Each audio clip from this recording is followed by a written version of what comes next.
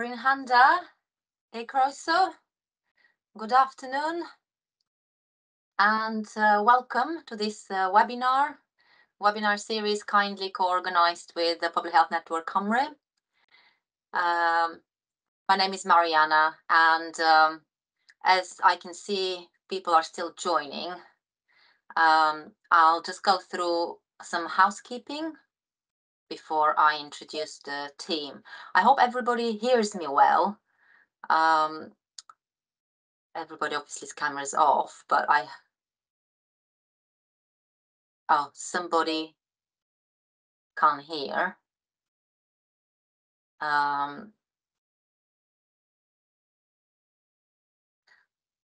okay, so some some people can hear and some can't. So I'll leave it to the technical team um, I'll leave it to the team to to sort of um, um, sort out if uh, some people can't hear.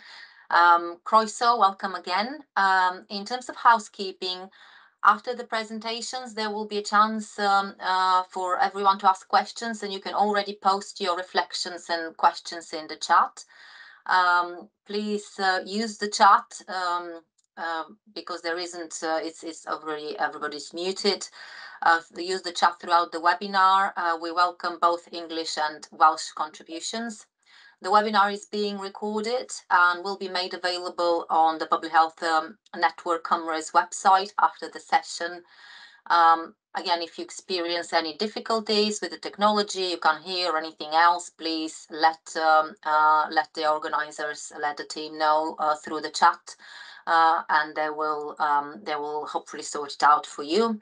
Um, to let you know, there will be a comfort break um, in about um, an hour, maybe an hour and a half time, around 2.30. So don't worry, you'll have a, uh, some time to um, uh, sort of uh, relax and, and grab a cup of tea and coffee. And we'll try to keep to time and finish uh, on time.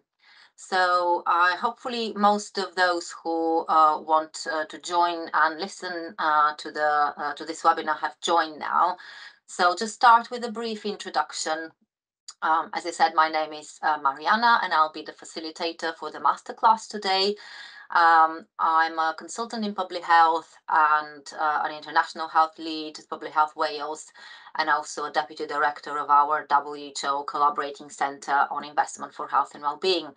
Um, I have um, extensive sort of more than 20 years, I shouldn't say that, uh, experience uh, and practice, um, uh, including medicine, uh, public health policy and practice, and uh, um, academic research work as well.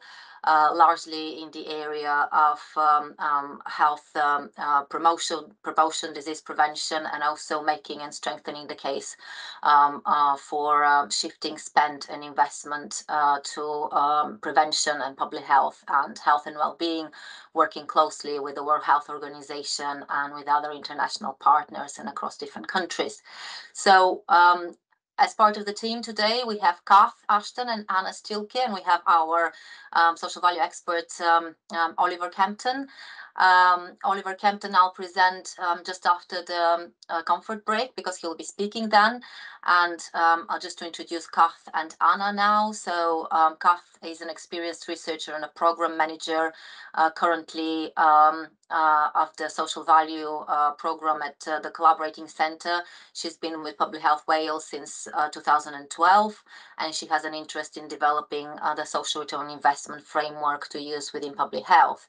And uh, Anna uh, has been with us uh, since 2016, and she's an international evidence development officer, uh, currently focusing on social value and well-being economy to understand how to redesign the economy um, so that serves people uh, and the planet over profit.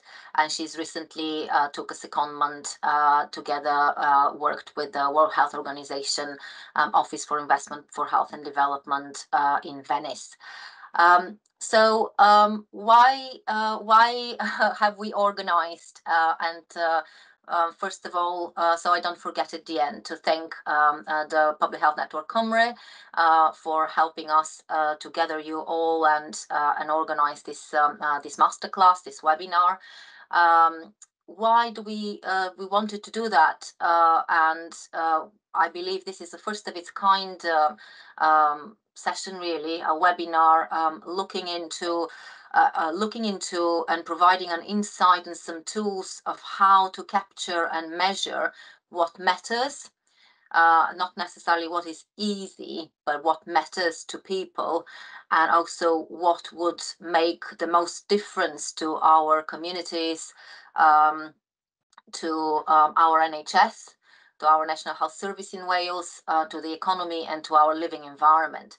So this is uh, what we uh, are going to um, um, discuss today and uh, um, show you and provide a bit of a uh, a, a, bit more of an uh, uh, going a little bit more in depth into the how, not only the what, uh, into the social value. I mean, you can call it also public value or well-being impact um, of specifically public health. And I'm saying this is probably the first of its kind because it sort of tailors and aligns the the methodology behind um, measuring and capturing social value to public health services and interventions. So it's very relevant, obviously, to public public health colleagues um, across the system, uh, but also to other um, uh, practitioners and other uh, uh colleagues and professionals who are interested into improving population health and well-being, reducing inequalities and achieving um, well-being for the people in Wales, but also internationally. As I said, we work quite a lot internationally. So um, hopefully we'll be able to achieve these um, through um, uh, some more general, but also some more technical um, uh, information and we'll also have time um, for uh, a bit of a discussion for questions reflections uh, some uh, Menti some uh, Menti uh, questions for you to answer.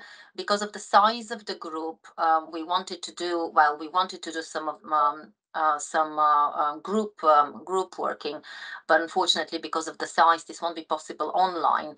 And we very much wanted to do this uh, masterclass in person, which again, due to uh, financial constraints, um, wasn't possible, unfortunately. But we very much hope that this just um, is the start. So it's a it's a um, the first um, um, uh, webinar and masterclass of a series, we hope, where we can then maybe look a bit more in depth into the different areas, whether it's public health, whether it's uh, financing um, health, uh, population health, uh, whether it's working maybe with partners and uh, researchers and the third sector or the private sector, whether it's looking how it contributes to the foundational economy. So there are various aspects of um, of where uh, we can apply the social value uh, uh concept and the methodology behind it and um, hopefully be able to help and contribute to developing and building a more sustainable and resilient um, NHS.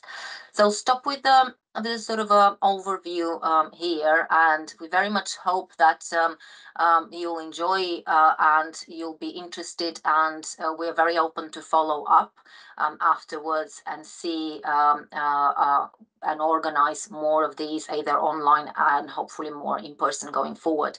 So um, I will just provide a bit of a context and the drivers around uh, this agenda Thank you, Kath. Uh, so first of all, uh, this is related, as uh, um, all of you probably know, uh, very much to global uh, as well as uh, national challenges. So challenges related to um, our transition out of the COVID pandemic and the long-term consequences of that, exacerbating, for example, um, health and socio-economic inequalities, um, uh, the consequences of Brexit are still very visible. Uh, global risks and threat related to uh, war and um, economic crisis and rising cost of living uh, we are witnessing um, in Wales and across uh, the UK. Um, aging population, but not necessarily. So we're talking about aging, but unhealthy aging, so to say. So um, increasing the number of people who are older, but having also multiple morbidities, so increasing the burden of disease, um, as well as um, young people uh, and challenges in terms of their mental health and well-being and um, inclusion, social inclusion and inclusion in the labor market. So um, all of these sort of um, uh, climate change, of course, as our biggest global threat currently. So all of that is uh, is a very um, uh, creates um, uh, um, it is a, a, threat and a challenge, but at the same time there is a, a it creates a window of opportunity. As we know, um, uh, we are oh, uh, usually usually changes uh, happen. Um, happen in the in the times of of crisis or crisis sort of um, instigate instigate change, hopefully positive change. Um, and I've listed a couple of other things in relation to evidence and uh, innovation, and this is these are both challenges and opportunities. And in terms of evidence, for example, um, we, for example, um, uh, considering there is quite a lot of evidence out there already and data, we consider ourselves data rich, but are we really? And in the problems we would like to address, like inequalities, do we have disaggregated data? Do we have local level data? So um, it is both a challenge, but also a strength. Do we use the data and the evidence we have um, as uh, we should be doing and build on that? And also, uh, do we measure um, uh, the right things? do we measure only the easy the, the things which can be easily measured or we also um, uh, want to measure the things which uh, are important and matter to to people and uh, and a sustainable system um, innovation, uh, we talk a lot about new technologies and artificial intelligence, but do we consider also social innovation, transformation, integration of services as well?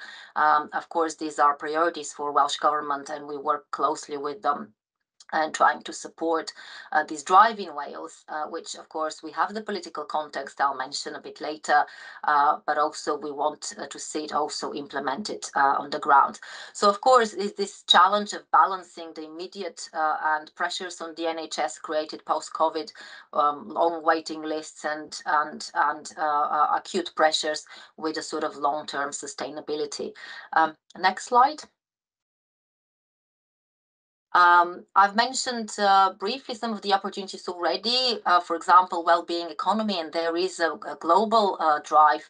And also in Wales, it's very clear the commitment of a well-being economy, which positions people and their well-being, um, social well-being, uh, planetary well-being uh, up front uh, to not necessarily and sort of shaping development as an important or leading factor for shaping, shaping and and uh, um, uh, uh, and progressing development, not only gross, you know, domestic product (GDP) and not only profit.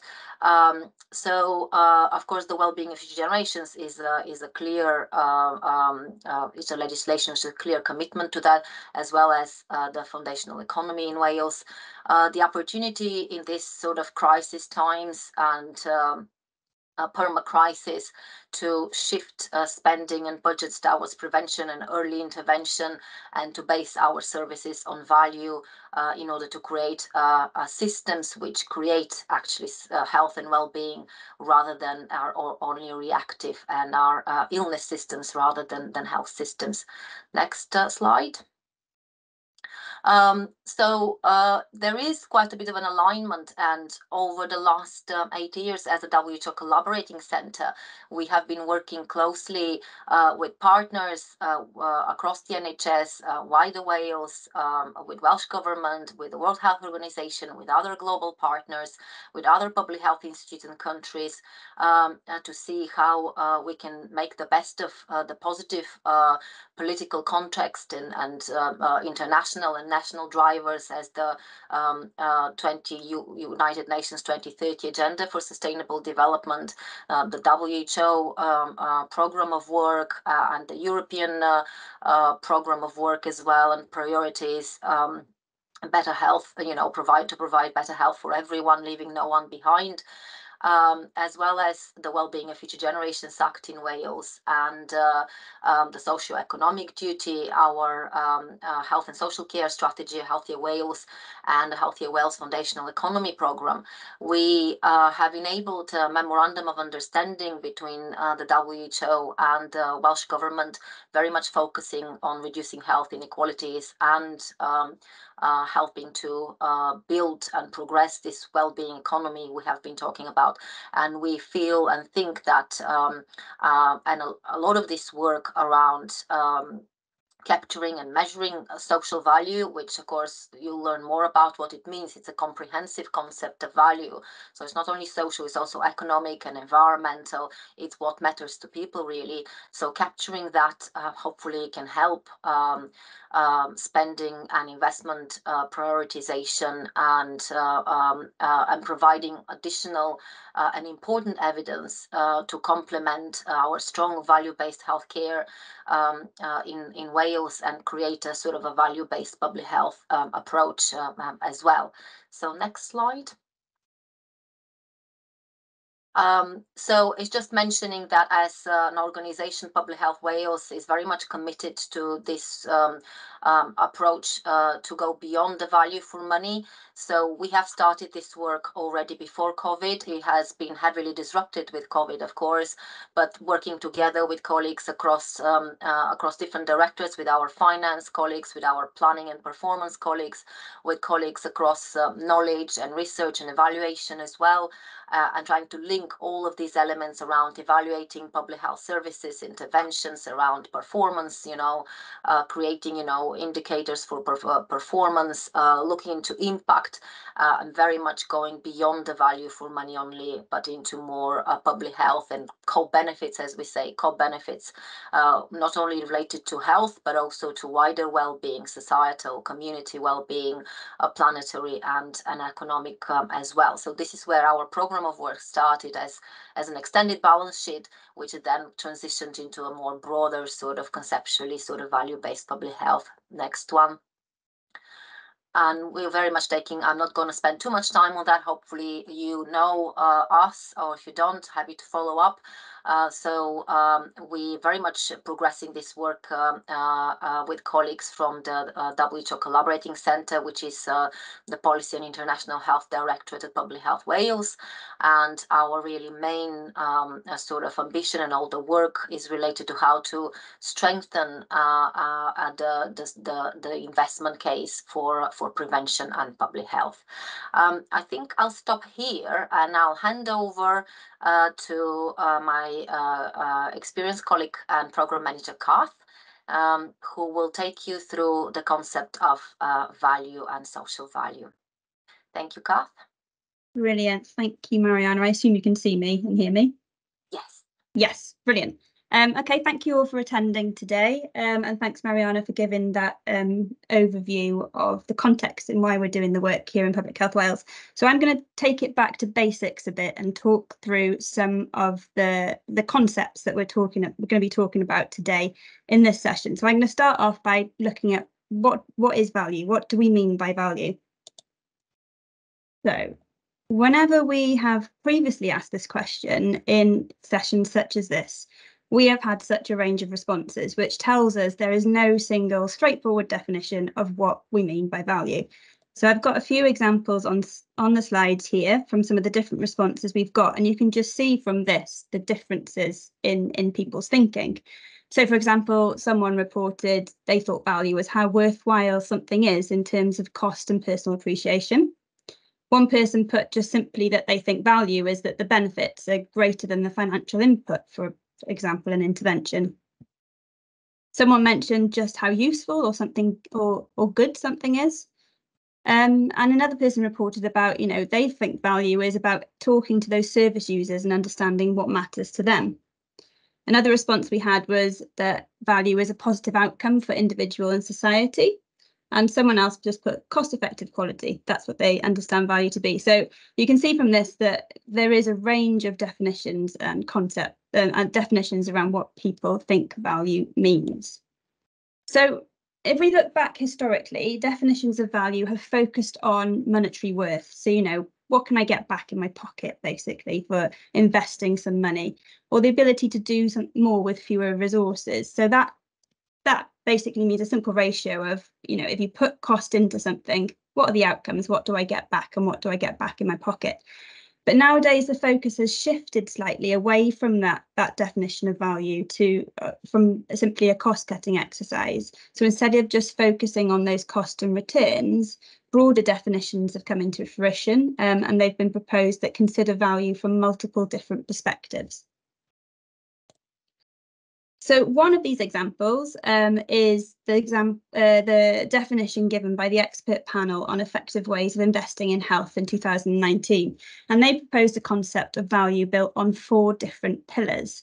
Um, and this, um, for those in the room who work within value-based healthcare, is commonly known as value-based healthcare. So they propose four value pillars, and these are allocative value, technical value, personal value, and society, societal value. So what do we mean by these?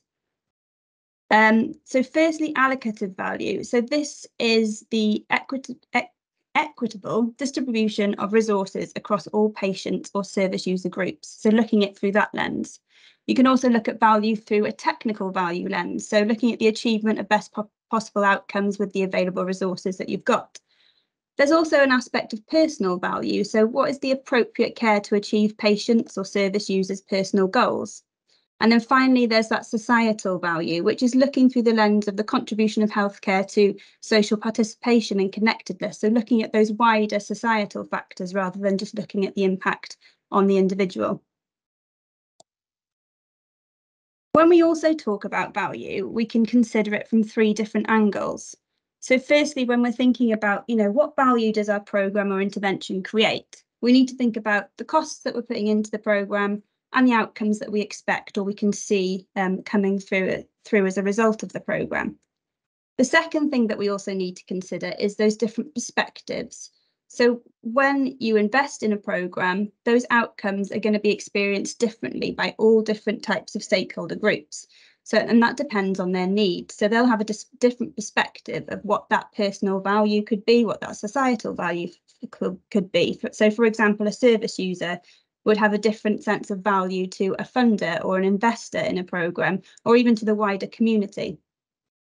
And thirdly, um, you can look at value from the scope. So these are the different types of programmes or interventions that you're looking to assess the value of. So the scope of that intervention will be different for every single intervention or programme you're looking at. So it's important to consider these three factors when we're thinking about value. So moving on to social value then. I'll do the same with this concept you know talk through what we think the definitions could be how do we think it be measured and captured. Five different areas which we think are important to consider when you're looking to capture or measure social value. First one being the drivers of social value so why why are you looking to capture or measure social value? Who or what is creating the social value? Who or what is impacted, so which stake, stakeholder groups are affected or experience a change as a, as a result of your action, what is the nature of the impact and how then can the impact be measured? So I'll go through each one of these now individually. Sorry, there we go. So the first one is the drivers of social value. So there are several reasons why organisations may use social value or try and capture social value. So, for example, this could be to demonstrate how the services they are going to buy or contract can secure wider benefits to the area or stakeholders. So, this is looking at it through a commissioning or procurement lens.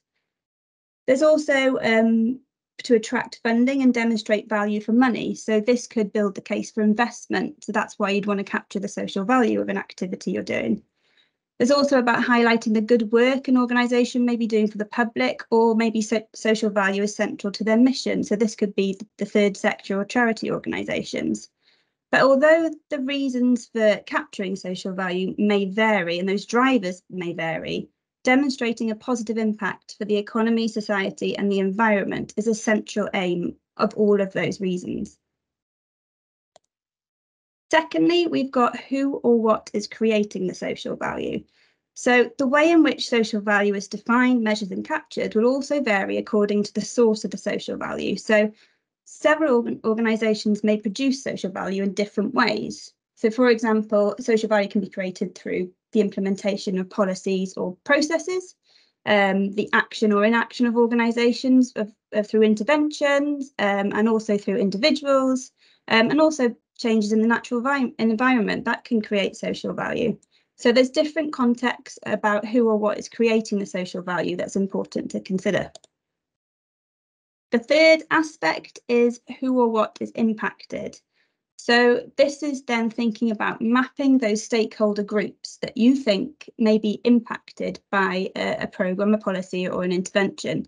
So the social value may be aimed specifically at a single person, or it may be felt more broadly. So, for example, a stakeholder could be those individuals. So, in our scenario, that would be service users or patients.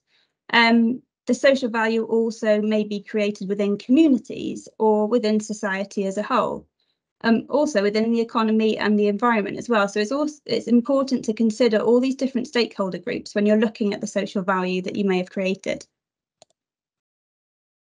Um, the next one um, is what is the nature of the impact? So the definition or how you capture the social value will also vary according to the nature of the impact.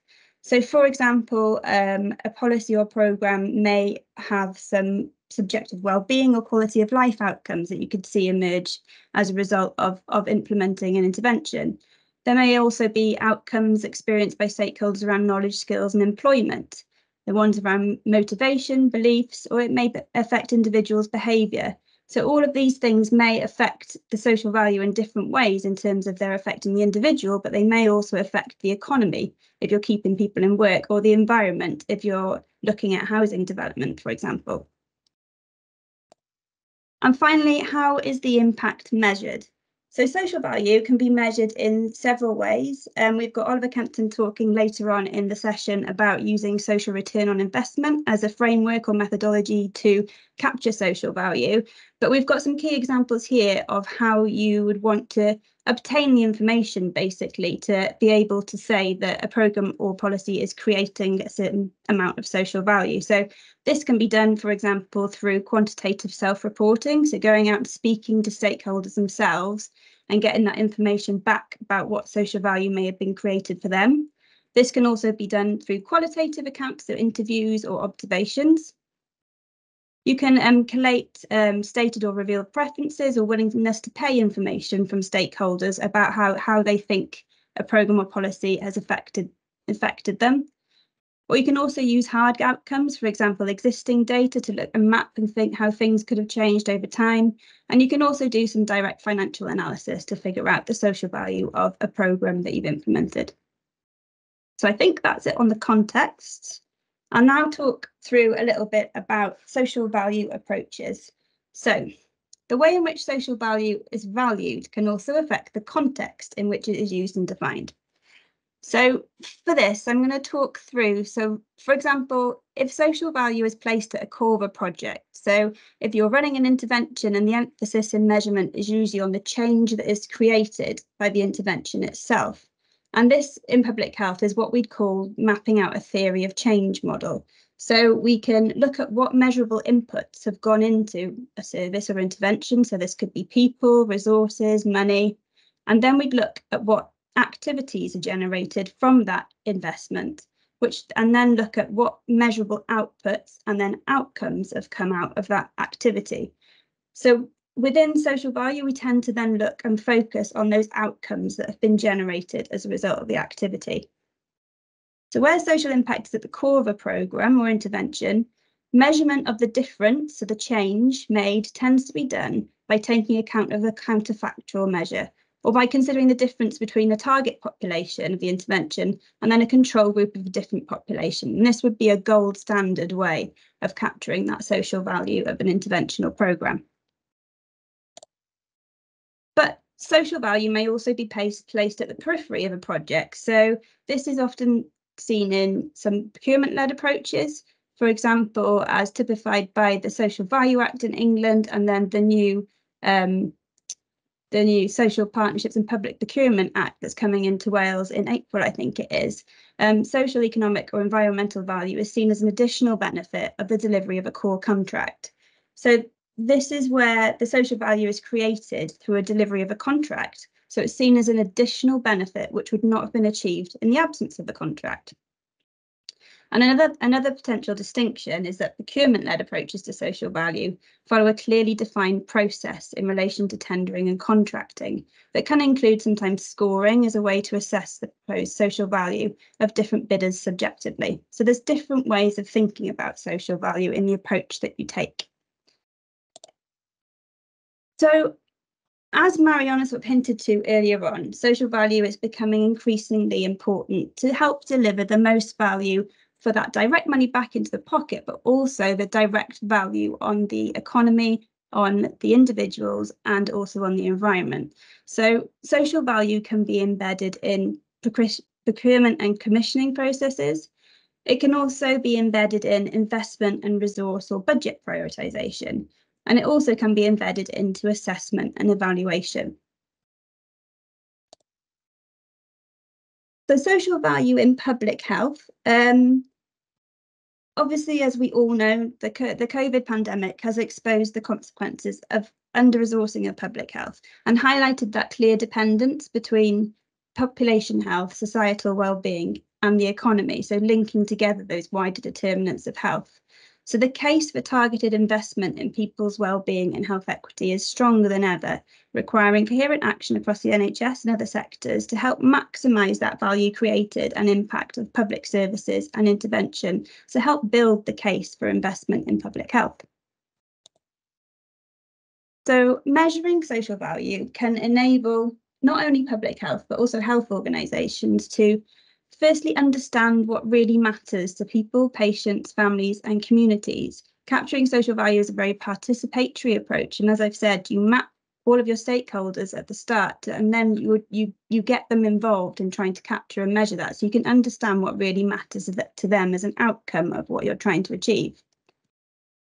Social, measuring social value can enable us to assess, measure and track those real outcomes and impacts in a systematic and com comprehensive way. It can almost help almost help with the um, allocation of resources to where they are having the greatest impact on people or specific groups or communities or specific areas within the economy or the environment.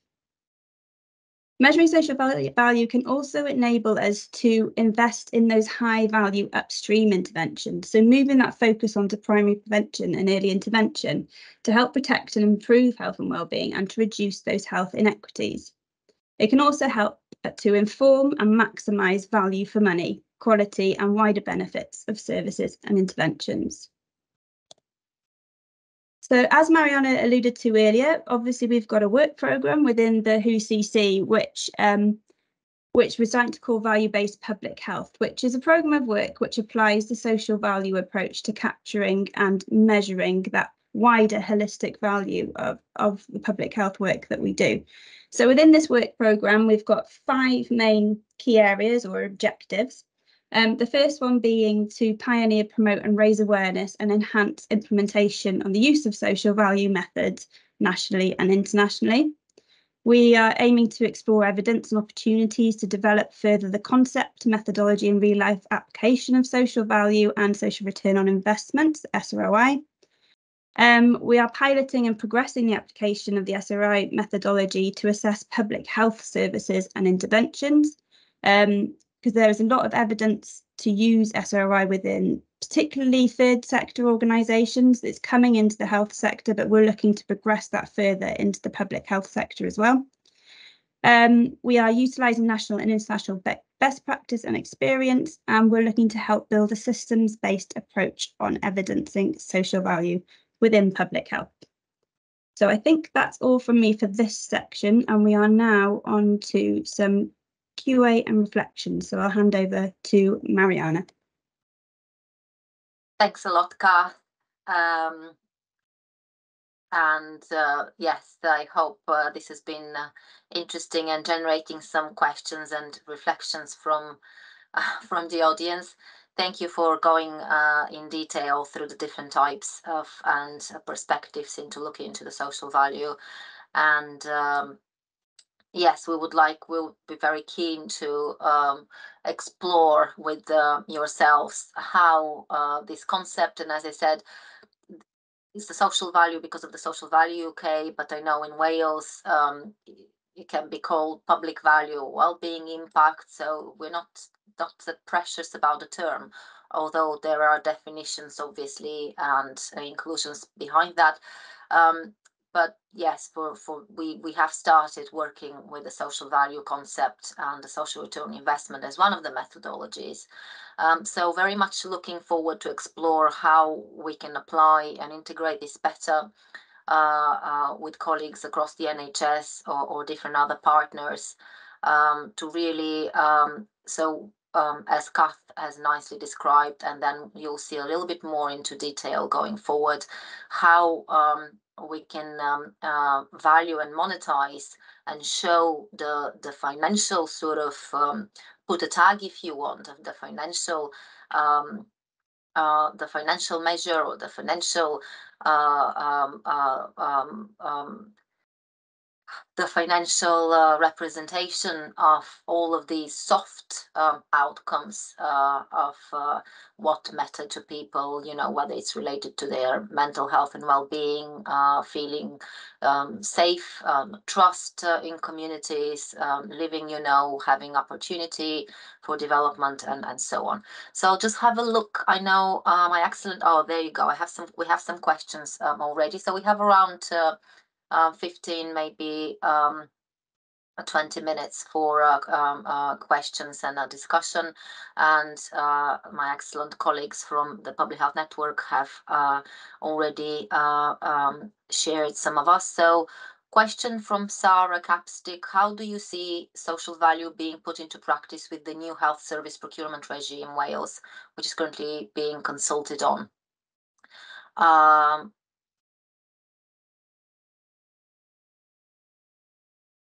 So I'm not a specialist in procurement. Um, one thing we have been discussing, and uh, I'll ask uh, obviously um, colleagues uh, if they would like to um, share an answer to that. One thing we have been um, uh, discussing a lot is how um, how we can broaden um, really the utilization of uh, uh, of the social value uh, and the social return investment. Um, well, one element is obviously with procurement, but procurement is is very much leading in everything which is happening in uh, both England and Wales, and we want to take it broader than that uh, and uh, included into uh, program improvement, um, you know, evaluation, uh, uh, budget sort of uh, um, spending sort of decisions and budget prioritization. So I um, I believe again as a as a non as a public health professional and not, not an expert in procurement um, we uh, we need to see obviously um, how it's a, it's an interesting uh, question and it's a good suggestion to have a look into how actually so I'm will be very happy to continue to follow up with you Sarah and discuss how um, how this can uh, um, uh, be useful, um, I suppose, uh, and add on to the um, this health service procurement regime and the new legislation, as uh, Kath has mentioned, coming into Wales. Currently, we are aware, as Kath has mentioned, that procurement through procurement um, uh, um, our colleagues are looking into this um, added value and how uh, you know um, different um, um, goods and services which are being procured uh, or commissioned have this additional sort of co-benefits uh, I don't, I'm not aware of uh, use, the use of social return investment yet into there, but I think um, it's definitely an opportunity to apply the, this concept uh, and the social return investment or other relevant methods into, into this regime and in relation to the new legislation. So I don't know whether Kath or Oliver uh, would like to add anything to that. Yeah, I can jump in. I was thinking whether this relates to um, the wellbeing impacts group that I've been sitting on in Welsh Government. So there, there have been a team of people in Welsh Government looking at, it started off as a social value working group. The name then got changed to the Wellbeing Impacts Working Group. So I think they've been brought together. I think it's it's disconvened now the group, but I think they've been brought together to sort of think through this and think about how um, the so the, the well-being impacts can be measured and captured and i think they've pulled together a list of indicators for use going forward. Um, but you know if you did want to follow up like we can give you the key contacts for that group and maybe you could get in touch with them because they'd have a bit more information to share with you i think. Thank you kath um, I think that probably provides good information. I can't see Oliver chipping in, so I'll just uh, carry on uh, and we can continue, of course, the conversation outside of this webinar. We have a couple of very interesting questions uh, which are linking with other methodologies, and one I'll, um, uh, well, I'll um, Kath, do you want to answer the second one? So we have a question on Jason from Jason uh, Conybeer. Is measuring social value the same or a duplication of the well, uh, Welsh Government health impact assessment regulations, which are currently being consulted on? So it's very interesting, actually, and relevant that you're rising, uh, sort of uh, raising this, um, because we have uh, uh, one of the one of the uh, part of the work we are doing as part of the social value is actually um, they're complementary they're complementary methodologies. But i'll i'll hand over to kath because i know she's been obviously working and we've published um, uh, even a couple of papers around that. They're not the same. They have similar um, elements but they are actually complementing each other and we have been combining them into evaluating different programs. So kath do you want to say a little bit more on that Yes, it's interesting that you brought that up actually, Jason, because my my role at the moment is split between our health impact assessment unit that we've got in Public Health Wales and the social value team. Um, and we've actually mapped out the similarities, I guess, and the way that um, social return on investment as a way of capturing social value can actually integrate with the health impact assessment process quite nicely. Um, and they benefit both both each other in, in, in different ways. So I'd say measuring social value is not exactly the same as the the health impact assessment regulations which are currently being consulted on.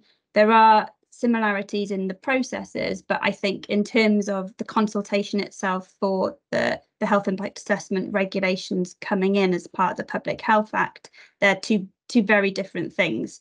And i'd say there's there's quite a lot of crossover at the moment between a lot of these duties from Welsh Government in terms of the health impact assessment regulations, in terms of the social economic duty, in terms of the social social partnerships and public procurement bill as well. There's there's there's a lot of similarities in what the ask is in terms of looking at those wider determinants of health in certain situations, so the economic, the social, and environmental. So it it's a bit of a, a map trying to figure out how they all all fit together. But Jason, I'm happy to send you through some literature that we've produced, um, but also to have a further conversation with you outside of this if you if you'd like. Thanks. Um, thanks a lot, Kath. Um, that's really helpful, and I agree. So we have um, it's um, uh, it's an uh, so the well-being of future generations act is obviously is an umbrella to a lot of other legislation regulation, which is going um, uh, more or less in the same direction. And in, in this respect, of course, we have the public service boards and then the regional um, partnership boards uh, uh, and so there, there is complementary functions but yeah this is one of the one of the opportunities i suppose going forward is uh, how do we um, how do we avoid duplication and um, how do we maximize the benefits through these methodologies maybe combining them and and using data available data uh, and evidence um, if one is done to the other and then inform uh, and put a tag may again the, the main of course um, benefit of doing a SROI is putting this financial um, financial representation, which you'll see into the, the second uh, part of the, uh, the masterclass. A couple of more questions and a reflection we have. Um, so there is a very interesting uh, question. Are there examples uh, from Lisa Williams? Are there examples of um, uh, SROI and realist um, research evaluation methodology used for evaluation of public health interventions in Wales? I'm not aware. Um, and I know realist um, uh, evaluation has been done quite a lot uh, into evaluating because public health interventions are complex. So it's been done actually to evaluate healthy cities and uh, you know health in all policies uh, sort of interventions. Uh, but it's a very good, uh, I would say, suggestion, and it's a very eh, very interesting. So I'll be happy if you want to follow up on that, and uh, maybe we can see. But yeah, it's a very good suggestion. I'm not aware. I don't know whether Kath or Oliver maybe will be might be aware of of any examples of that. I'm personally not aware, but I think it's a very very good opportunity to explore explore how SROI can contribute to a realist um, uh, evaluation. Um, I can't see a hand from or or Kath uh, and Oliver coming up. Oliver, do you want to say anything on that? We can't hear you. You need to unmute yourself. Oh, we still can't hear you. okay. Um, so while Ollie's, I don't know whether uh, maybe from the colleague from the network, um, Cymru have muted you. Is that any better now? Yes, yes. Good stuff. Okay. Yeah, just briefly on on that point. So I think it's a really interesting one. I think um, we're going to, I think, touch later on SVDS um, and some the kind of well, as as Graham's just put on there, there are examples of of SROI studies in public health on there. Um, I don't have to hand the kind of breakdown by region and so on. Um, but of course, we've been looking within Public Health Wales at some in a Welsh context, and also the I mean, there we don't have time to go into this, I think, but in many ways, SROI dr does draw on the realist evaluation um, principles and ethos as well. So it's very much kind of connected to that, I think. Thanks a lot, Oliver, and apologies if I misunderstood. So yes, there are examples of SROI of public health interventions in Wales, indeed, uh, as well as um, uh, as in England. Um, uh, my understanding has been more is there a combination but obviously you've uh, you've touched on that as well uh, and i think it will be a good opportunity to see how more actually this can be paired i suppose similarly with the hia uh, and the last question we have is um, in Wales, is the private sector embracing social value approach yet, or is it mainly in the public sector? Um, again, I'll probably leave more of this to uh, to Ollie. Um, um, I, from my knowledge, I know public private private sector is actually utilizing social value and social return investment quite a lot. I'm not quite sure whether it's specifically in Wales um, or um, uh, just broader the UK. But Ollie, I can see you're nodding, and uh, I'll be happy if you want to answer. Yeah, I think these days social value approaches are actually used more in the private sector in so much as organizations are bidding for contracts and having to talk about social value in that. And I, I, know the, the Welsh context is slightly different from the English context, but it kind of applies it in both cases. So, so any big, any organization bidding for big public sector contracts, we'll be talking about social value now, and the bigger ones have social value teams and so on. That's not necessarily the same as doing a whole social return on investment. And Kath talked about the differences a little bit earlier. I think even within the in, in the health and the public health realm, often organizations, again, that are not necessarily public sector, but maybe are, are charities or social enterprises are are thinking about social value much more again because because of their relationship with the public sector. So I would say that, um, so yes, it's embracing social value, particularly those parts of the private sector that have the public sector as a major stakeholder. Thank you, Oliver. Uh, that's great. Uh, and we have a reflection from Debbie Schaffer, which um, uh, is related to a specific sort of um, uh, population or survey. So I'll read this out uh, and it's an interesting uh, reflection. So I will welcome maybe uh, also some um, uh, responses in uh, in the chat um, as well. It can be incredibly difficult to make the case for allocation of resources um, for an intervention when its impact or value only affects a specific population. On, uh, for example, menstrual health conditions, um, particularly endometriosis, is a major health burden to patients, services, economy, but are historically neglected for a whole for a whole um, uh, host of reasons, uh, not least because they are not preventable uh, on an individual basis. For these patients, prevention might constitute more and more accessible NHS services, but this doesn't uh, coalesce with direction of travel where personal responsibility and service um, rationalization. Uh, curious for the thoughts on this chain challenge.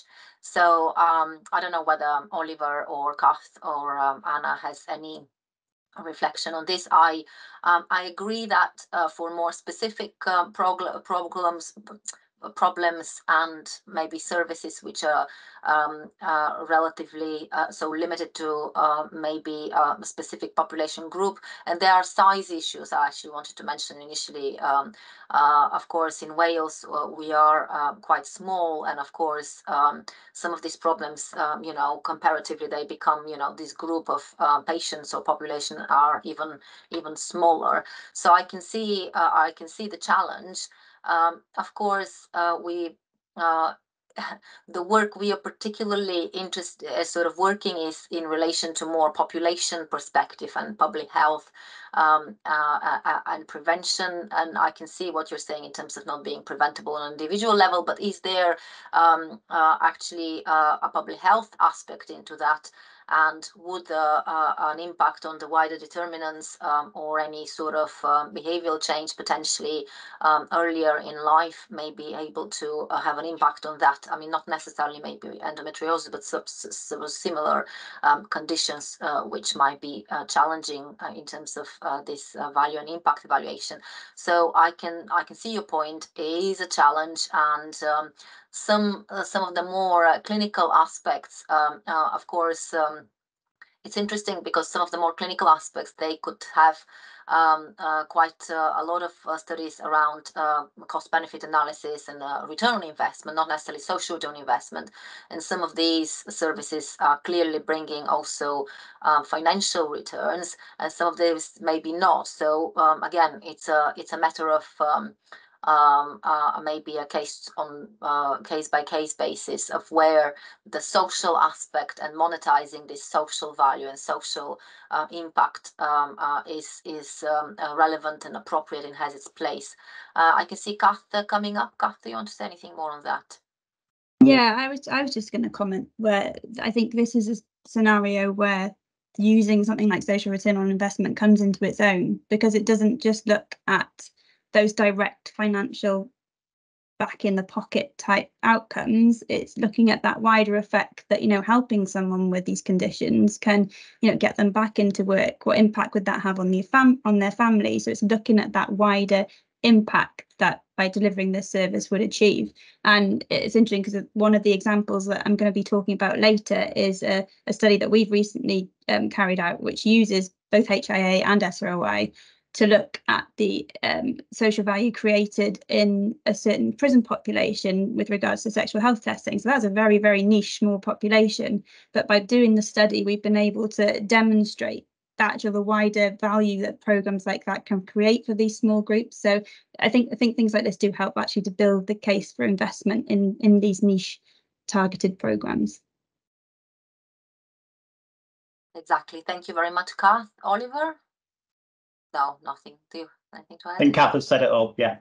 Yes, brilliant. Yes. Well, that's the point. I mean, if there isn't enough investment, so this is this is definitely uh, one of the other benefits is, uh, and as you'll show in afterwards, how much more actually from a financial perspective this can be, uh, the the this can be proved so that the benefit or the co-benefits and the added value or the whole uh, overall value can actually can actually show um, uh, can be uh, expanded uh, and trying to to capture these sort of soft outcomes which are usually not captured. So i think uh, we'll uh, wrap it up here and i can't see any further questions or um, um, or uh, uh, immediate reflections and you'll have the opportunity. So just to keep posting and uh, in the chat and we'll have some time at the end as well to look at these. So we have a, a some interactive session now uh, who my colleague uh, will be doing together with my colleague Anna and it's on Mentimeter um, so uh, and we have a few questions where we would like to um, uh, gauge your um, uh, your views and um, your uh, thoughts, uh, even sort of most immediate um, around the social value. So if we can have the next slide where we have the Menti, um, the Menti. yes, thank you, Kath.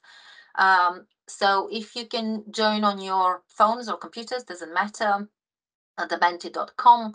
Um, uh, hopefully most of you are familiar. Uh, if not with that, with similar sort of platforms, there is a user code 45166956 uh, uh, or just scan the QR code and um, uh, then uh, um, my colleague Anna will post some questions and we can look uh, together into into uh, uh, some of these um, answers.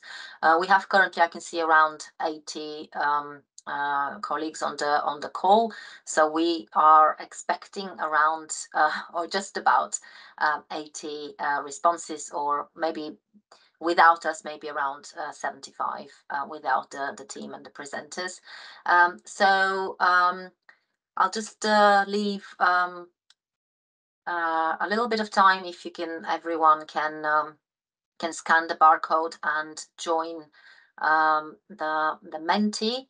Um, I think hopefully you had enough time. And Anna, would you like to then start it and we can have the first question then um, visible. Uh, I can ask maybe if um, somebody from the maybe Kath, um, if you don't mind um, sharing the the code again in the in the um, um, in the chat for those who haven't. Oh, actually, the code is there already. So uh, the first question is, what does social value mean to you? Uh, and we can already see uh, the responses. Um, for those who haven't joined yet, there is the code there on, on menti.com. Uh, so brief responses, people in society making lives better, measuring the wider value created by an intervention or just the cost benefit. Future generations, yes, very much a, a long-term sustainability, very um, uh, very good. Wider benefits to society, uh, measuring across social, economic, and environmental well-being, positive impact to people's lives, gives extra support for investment in public health, a way of valuing benefits and impact beyond money, measuring wider value, links to well-being of future generations, definitely. Uh, mentioned that already. When the ROI goes, oh, I can't follow all of these. I don't know, Anna, whether we have a way to sort of going up and down on this list or just coming up. It's fine. We'll be able to maybe, um, so this, um, I know the results from that, uh, we are able to save that and then we can add it to the presentation on the Public Health Network Cymru uh, website. And also will be um, yeah, so this will be available. Uh, and we also look into these benefits to wider society, project business work, added benefit to populations measured by the popul by that population, evaluating the wider impact of interventions, community and place-based value, measuring the value and impact of interventions. So yes, uh, I mean, um, obviously the foundational economy, um, uh, the uh, Healthier Wales foundational economy is um, placing a um, um, importance on three priorities, um, people, place, and procurement. So it does link with that as well.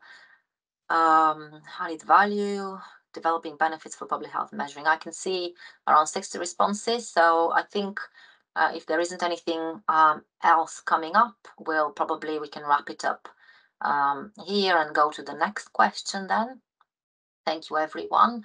What do you think are the benefits of capturing um, social value?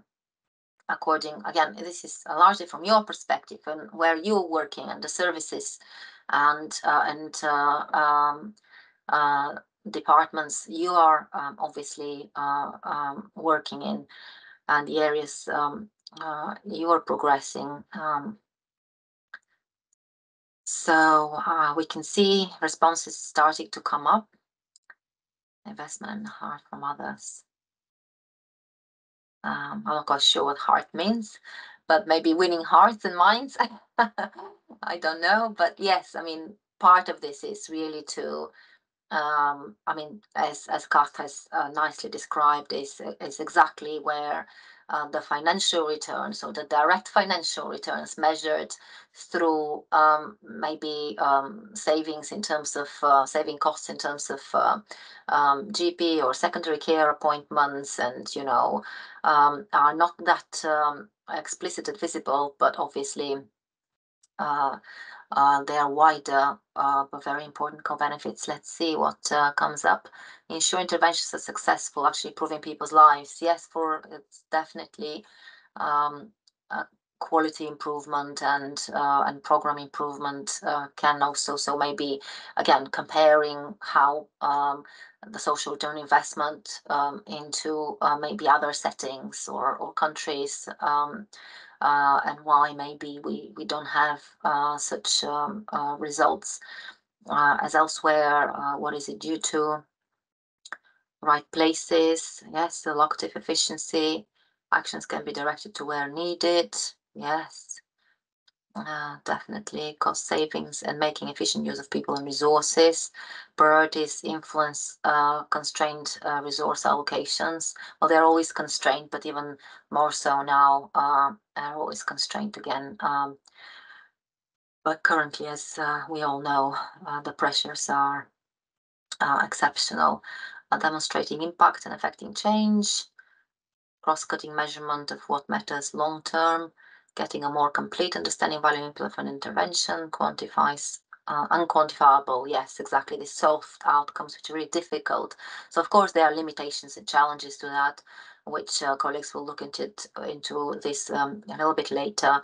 But at the end of the day, um, uh, there is, of course, we do need to try and attempt to um, um, to include and be more inclusive rather than just uh, don't measure what uh, we think can't be measured or is difficult to be measured.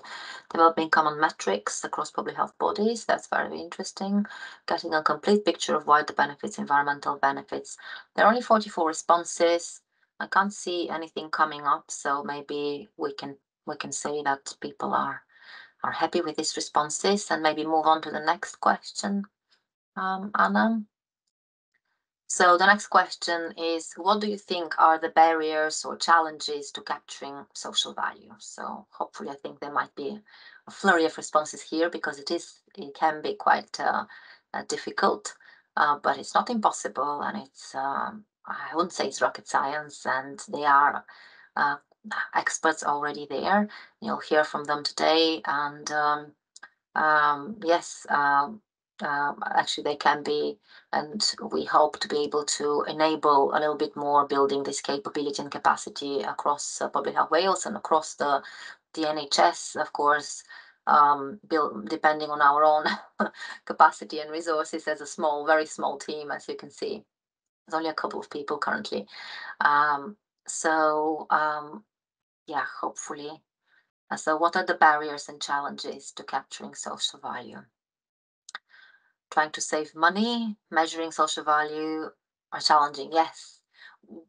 But, but how and why, I suppose, is the question. It's challenging if you maybe go a little bit um, into a detail. Resource, um, resource, I suppose, is this resource for um, evaluation? I mean, uh, obviously, SROI can be um, um, added to or inbuilt into a, a mainstream evaluation if this is going. So I suppose maybe resources for evaluation and adding these um, on lack of data and evidence well yes i mean we obviously we um, um, the data i mean i'm not going to comment very much on that but because obviously you'll see what sort of data the the, the SROI is building on um, resource and skills Yes, like funding for evaluation. Yes, the okay, it's coming clear now. Data collection, reporting, accountability, and transparency.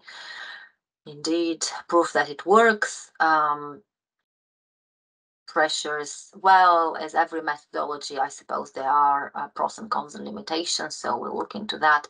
Pressures financial efficiency due to current financial situations. Of course, of course, uh, this is uh, uh, when uh, um, colleagues, you know, in finance are constrained into um, breaking even at the end of an year. It's only one year, of course. The the the, straightforward um, um financial returns are the first to be looked at. Difficult any qualitative data, time cost buy-in, hard to quantify lack of data, ensure methodological approach. Follow early adopters and champions to have social value. Yes, very good um, thoughts and ideas as well. So uh, so we can see maybe half of the people, 47 responses.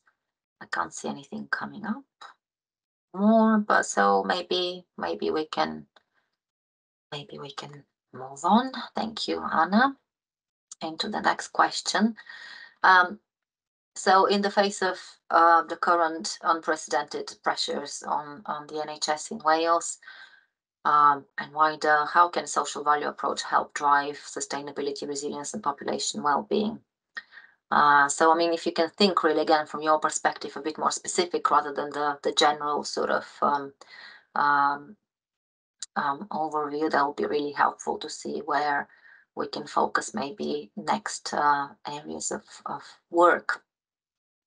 Um, so, how do you think it can uh, be maybe, um, I don't know, integrated, added on, or um, um, maybe embedded into something, or I don't know, targeting resources. I can see some emojis. appearing, a piece of slice and an apple, whatever this means. Informed decision making and prioritization, evidence of long-term cost savings and public health interventions. Yes, this is how it shows how to direct resources to areas that create social value. It can um, hopefully look longer term and benefits rather than acute problems. Definitely long-term preventive measures, hopefully, that's a very good point. Integrate uh, implementation, traditional economic, complement traditional economic analysis, definitely. Driving more effective procurement across um, boundaries. Indeed, for further embedded uh, message, message with NHS health boards and trust and prevention hand for the future. It can help us to get out of the circle of firefighting with longer term planning and impacts. Hopefully, this is this is what our uh, ambitions and hopes are are targeted um, as well. Uh, at interventions, different points in life can avoid a crisis response. Uh, frank, honest discussions between politicians and public. Yes, of the people are cheaper people. Helping interventions that are addressing what's important to people incorporating green value, cost being environment, very important as well, uh, which uh, can be forgotten sometimes. Increase importance of um, priorities. I didn't get that, but anyway, you'll, have all of this uh, in one place afterwards. More qualitative data will inform on efficacy of early intervention. Yes, might help sh uh, shift the focus upstream uh, to prevention. Uh, we're very much hoping that this can help doing that. Uh, quick wins from co-coordinated and integrated services. Yes, I mean, there's some already good approaches into thinking in that direction. Uh, keep it coming. Uh, we have been having conversations uh, with different colleagues from across uh, different health boards and also um, partners like third sector organizations interested in um, in, in that. So um, I think uh, I think um, a lot of colleagues uh, across the NHS are are on board, but of course it's a challenge to it does need the resource to um, uh, to embed it and do it um, properly and and uh, um, regularly as well, well as part of a sort of a an evaluation, a value of investment into local, yes, local I suppose. Um, organizations, third sector, community resilience, prevention work, sharing information, young children, need to recognize the impact on future generations and invest in early years, prevention of health problems. Uh, was not just public health. Yes, definitely. So, of course, public health sits also in uh, uh, local health boards. And of course, the wider determinants are also linking with local authorities. So, um, it's uh, not necessarily only health boards, but it's also uh, colleagues and uh, uh, relevant practitioners and professionals in local authorities, whether they are environmental or transport or education or social care. Um, so obviously using the, uh, hopefully we can use some of the mechanisms already created and the connections, social value um, that people are central decision making, yes, need to um, Yes, so um, obviously, yes, so it's uh, public, the public people's and public voice and uh, inclusion into planning and into decision making, um, uh, learning from what works or not, prevention long term. Uh, of course, the cheap is not always the best. Uh, the public sector provided public sector leaders through pilot programs, and as Oliver mentioned, this is also taken on board by both, well, largely private organizations. Uh, and um, interestingly enough, not that much public, uh, which uh, we as um, you know uh, a public um, service, um, wider NHS, public health, we're definitely creating a lot of these wider um, social uh, uh, and environmental value and impact, which doesn't really get measured or showcased into sort of financial terms links across inequality, sustainability, and health. Very interesting as well. I think we had quite a few responses already. Uh, future generations coming up. So I don't see anything more coming up. I think we have around 48 night resp uh, consistent respondents, so that's that's good. So we know this going forward. Yes, Anna, thank you. You can go to the next question. Very, thank you for your uh, uh, uh, responses. Some of them really good um, thoughts and um, directions for future exploration. So the next question is, what specific indicators or metrics should be prioritized when assessing social value? So this goes specifically more into the measurement, and I know we have the afternoon session for that. Um, but it's about what you think it's important to um, be measured. Um, so this can inform also uh, and of course, in Wales, we have um, uh, the Wellbeing and Future Generations um, Act indicators, we have the Public Health Outcomes Framework, but what is it maybe uh, more or particularly related to social value uh, that we would like and you think are important to be these, depending on the inter intervention, obviously. Uh, value to the user, definitely. Um, it's a difficult question, is it? Um, but I suppose from where, again, where you work, um, looking from your perspective, what is it important that you want to know? Um, depends. Yes, of course, it depends. I suppose it's, I know it depends, but is there anything which, um, which comes as a maybe priority? Population health and well-being impact, qualitative narrative-based measures, people's stories demonstrate impact, breakdown of cost, qualitative data and value to the target audience, outcomes, sustainability, environmental impact, education, fair work, mental well-being, yes, very important, mental, physical health outcomes, reducing isolation, increasing well-being, personal outcomes of a patient, and if uh, relevant, their family, of course, alongside societal benefits, economic benefits, and environmental. So of course, uh, it's uh, the the pure ROI cost benefit analysis don't take account into of the family um, or community. Um, so yes, it was, SROI looks into a, a, sort of a wider um, stakeholder or a, or a target, I suppose, population group. Measure who was um, measure who was impacted by the intervention, demographics. Um, can be different population health, mental, yes, has been mentioned, environmental fair work, emissions avoided, so it's environment, education, labor market outcomes, yes, are interesting. I suppose the business license, the Apple mean maybe uh, the local and the sort of a big picture. Um, so it's interesting to see these coming back. Need to consider the level of the measurement and additional work involved, of course, yes. So um, there is, uh, of course, whether we measure something on a, um, well, um, the methodology itself focuses on the specific target group or stakeholders. So it's, um, it can be both on a local or national level. Individual family specific communities, both outcomes such as reduction or blood pressure as well as impact life expectancy gains. Yes, very, very good actually.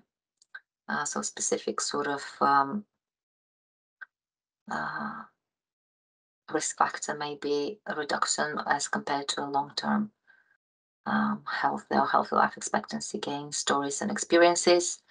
I mean, we'll be looking, um, Akath and Oliver will be obviously explaining a little bit more that the SROI can be done uh, both prospectively and retrospectively. Uh, so I suppose they are, you know, also uh, it's related to that physical, mental health, employment, what's important to people, uh, consistency across different interventions.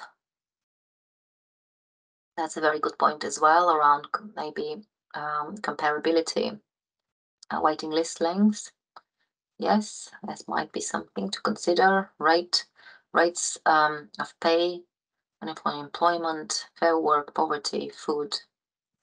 Uh, allow some flexibility in how it is done. Waiting times to access services. Yes, this comes again.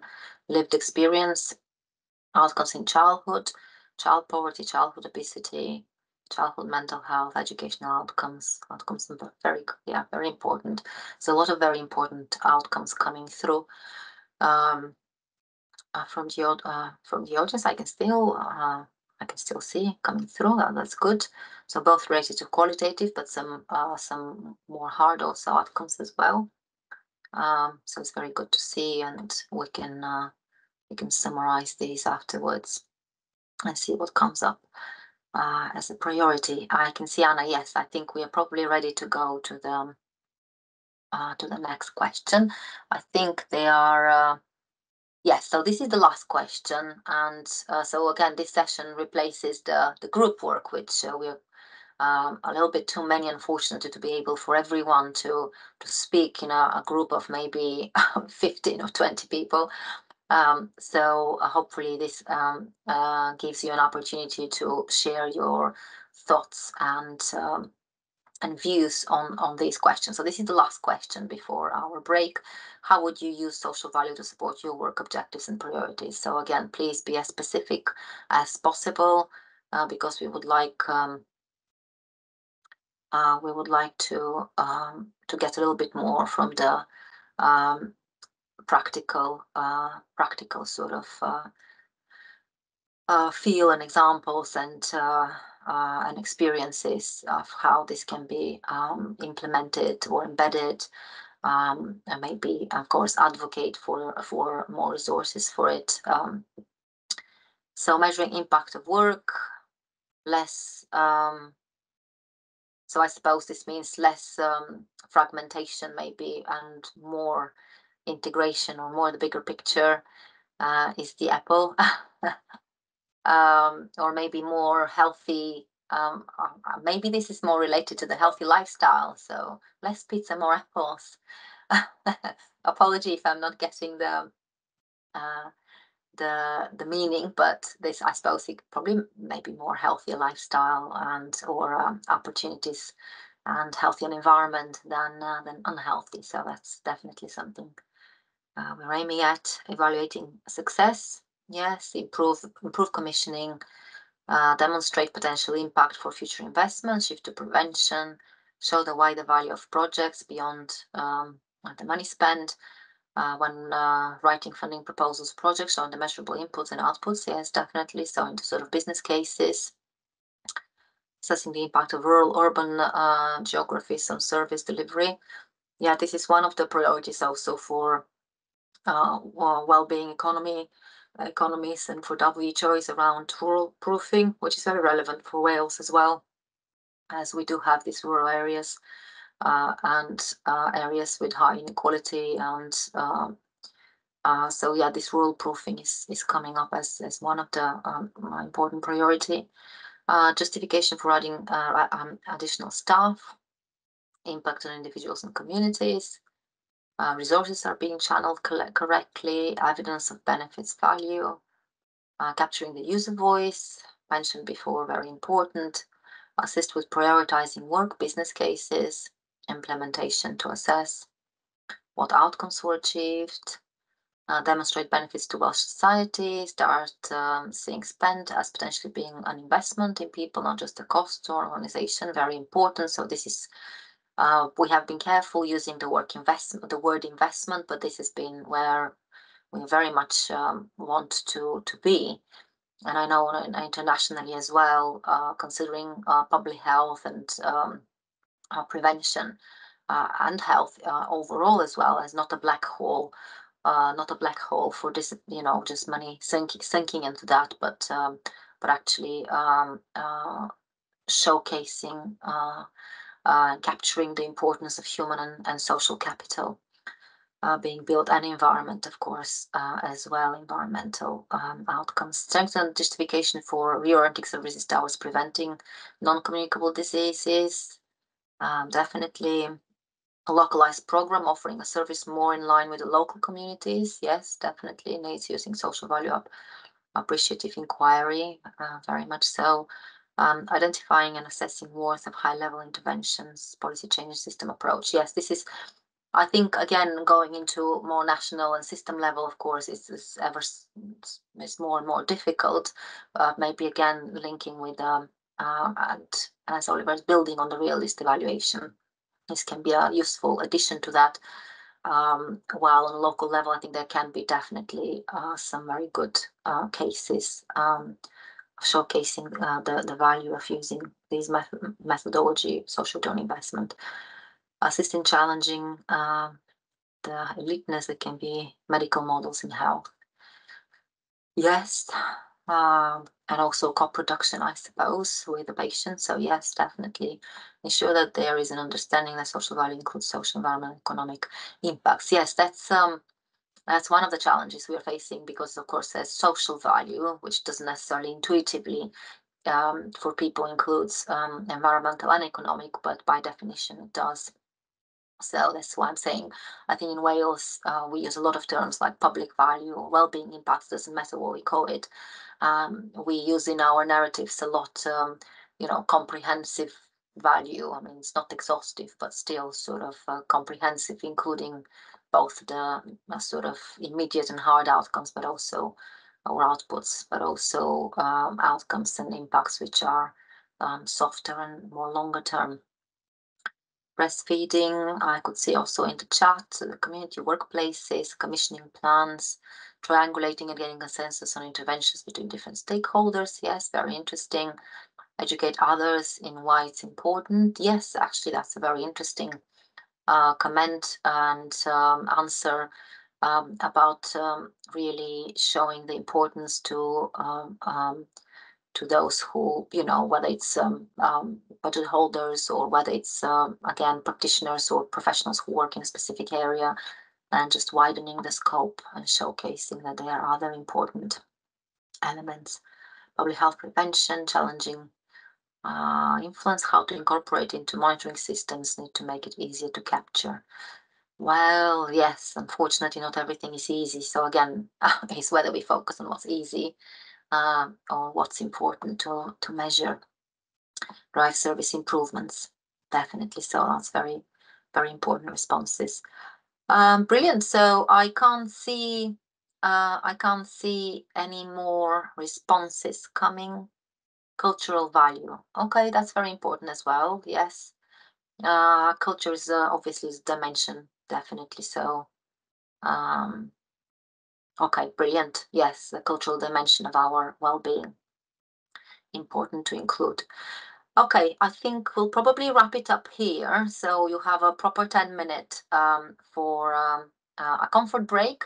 So, so without further ado, um, I'll continue uh, with, um, uh, with the masterclass. And uh, we have a couple of summary slides just before I introduce you, Oliver, uh, which uh, interestingly enough, are summarizing, or they're summarizing from uh, uh, uh, also what Kath, um, some of what Kath took you through this morning, but also nicely su summarizing a lot of the feedback which we had um, during the uh, the, Menti session. Uh, so uh, it's around the why measuring value is is important, um, and I can see uh, a lot of we're all on the same page. So it is very important um, um, for people uh, and placing uh, high value on uh, living a longer and healthier life and me measuring what matters most to to the people and their communities and uh, their families and and all uh, relevant and impacted um, stakeholders, whether this is um, maybe staff in education uh, uh or uh, or health um, health um, social services staff as well, of course, the people who are delivering some of these um, interventions, uh, uh, as well as the people who are uh, providing and paying for them. Uh, it is important also for organizations moving away uh, from the value for money towards a more comprehensive social or public value and increasing corporate responsibility, of course, in response to also legal um, obligations and regular regulatory obligations as well. for funders and investors, whether they're commissioners or whatever budget holders. So we whether they're health boards or local authorities or, or government. Um, uh, hopefully, uh, again, providing a little bit more comprehensive and relevant evidence and uh, data uh, around how they can prioritize these budgets uh, so they can make um, the most difference uh, to where it matter to where it matters most. And um, the next slide. Um, to governments and global agencies. So this, there is a, a global uh, movement and drive for uh, looking and improving well-being and positioning um, people and populations and, and their well-being in the center of economic development, uh, as well as um, uh, the environment and uh, our planetary um, sustainability and how do we um, live in a, a more sustainable and inclusive uh, way and, uh, and we create a more and more fairer society as well. Um, for practitioners and implementers, so as was mentioned from quite a few people around policy or program um, um, um monitoring, measuring impact and improvement, so this relates to the uh, allocative efficiency, whether we do the right thing, whether we do the right program, but also to the technical efficiency, uh, doing the, the programs and the services we are doing, uh, the right ones, doing them well.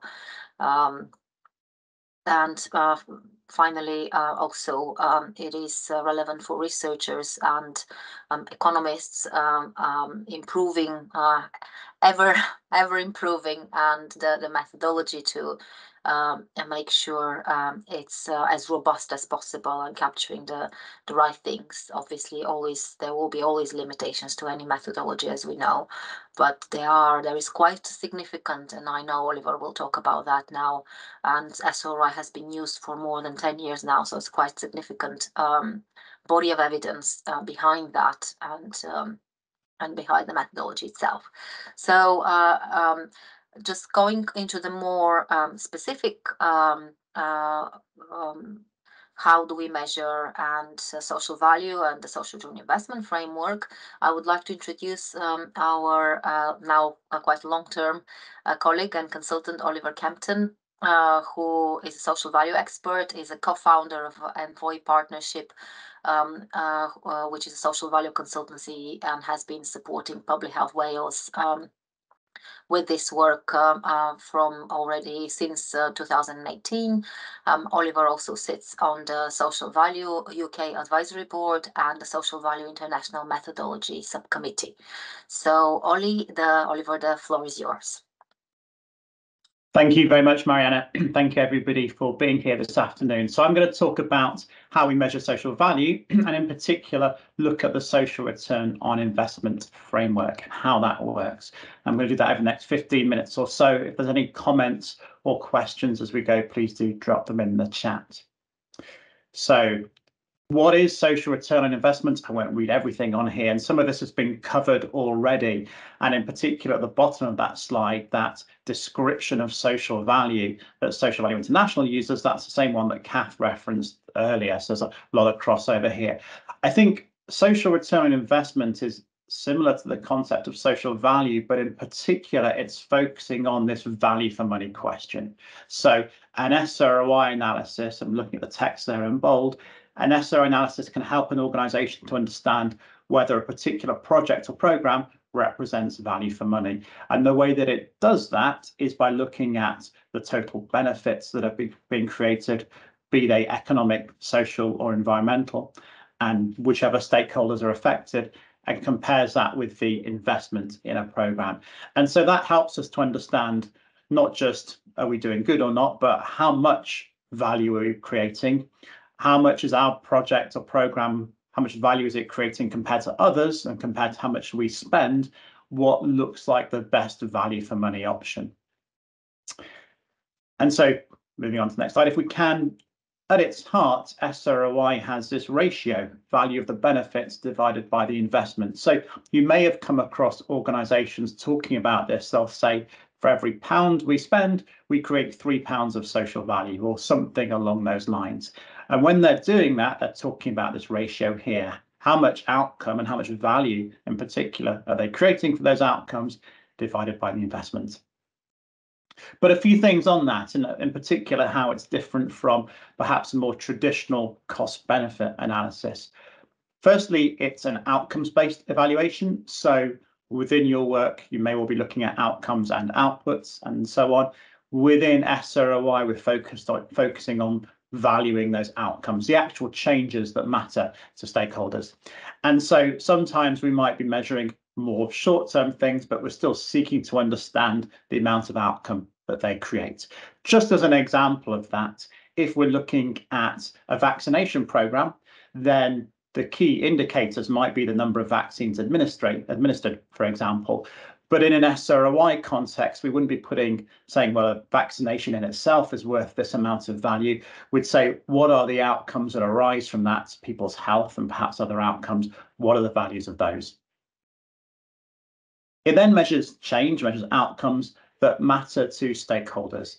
And that is actually different from some other evaluation approaches because rather than saying, well, here are our objectives, here are the three, four, five things that we set out to achieve, instead of saying that, it's a focus on accountability for our overall impact. So yes, that does include our intended outcomes, but it also includes any unintended outcomes, and they may be positive, but they also may be negative.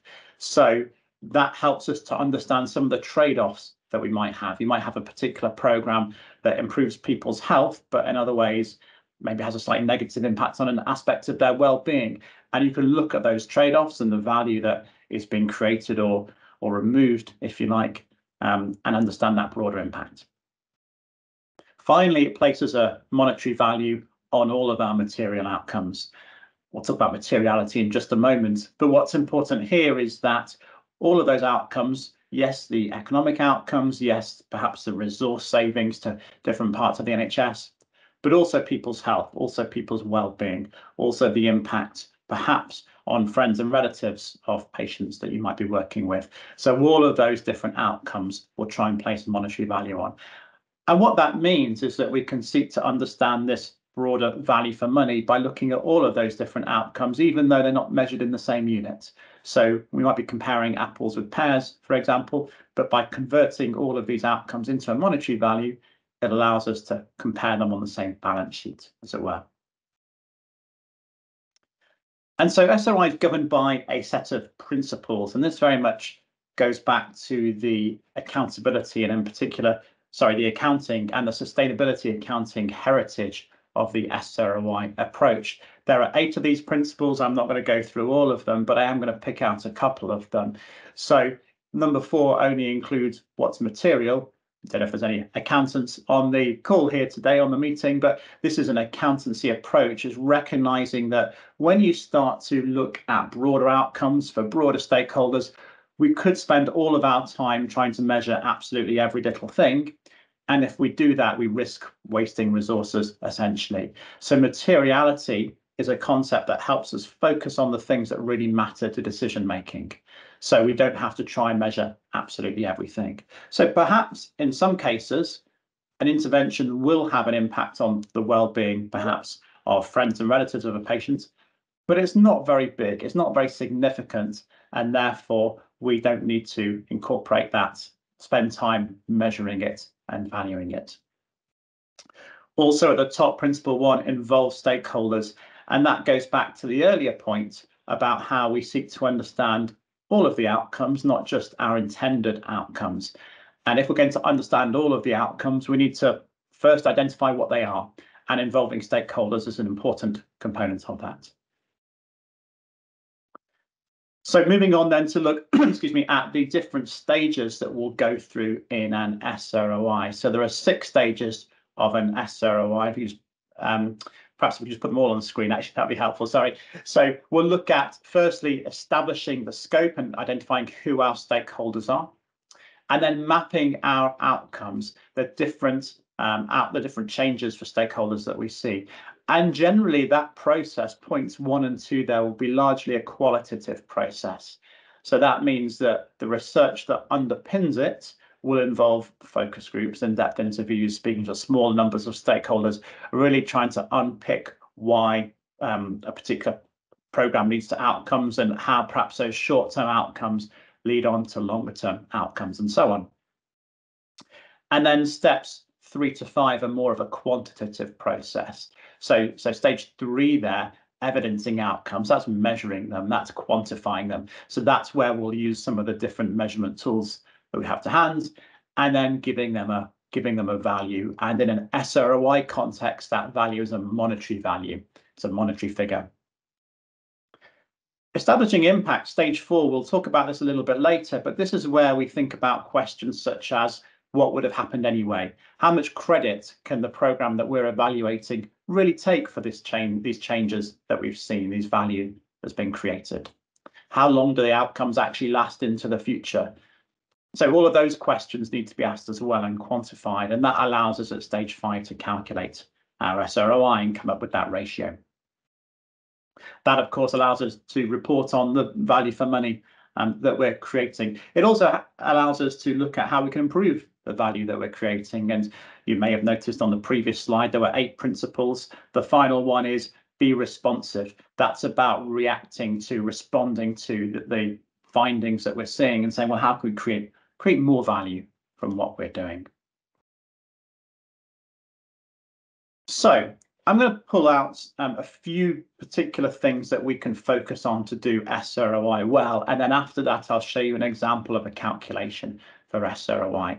So three particular things that I think we need to focus on when we're looking at an SROI approach. So firstly, some key consideration considerations when mapping our outcomes. When we're looking at those different outcomes for our different stakeholders, what do we need to take account of? Well, firstly, focus, as we said earlier, on those outcomes rather than the outputs. So that we, we obviously want to understand the outputs as well. And just to be clear there, by outputs, I mean the quantification of our activity. How much stuff do we do? Yes, we want to know that. But our outputs might be things like numbers of vaccines administered, we want to know what then changes for stakeholders as a result. What are those outcomes that then arise? Secondly, let's look at the outcomes for those affected indirectly and looking at the responses from the polls that Mariana was putting up. I think some of this is already coming coming through, but it might be family members, it might be informal carers, for example, of people who are experiencing outcomes, government services. It might be the environment, there might be a carbon emissions impact of what we're doing. So consider outcomes for those affected indirectly. And then one risk, I think, of taking an SROI approach is we can end up double counting.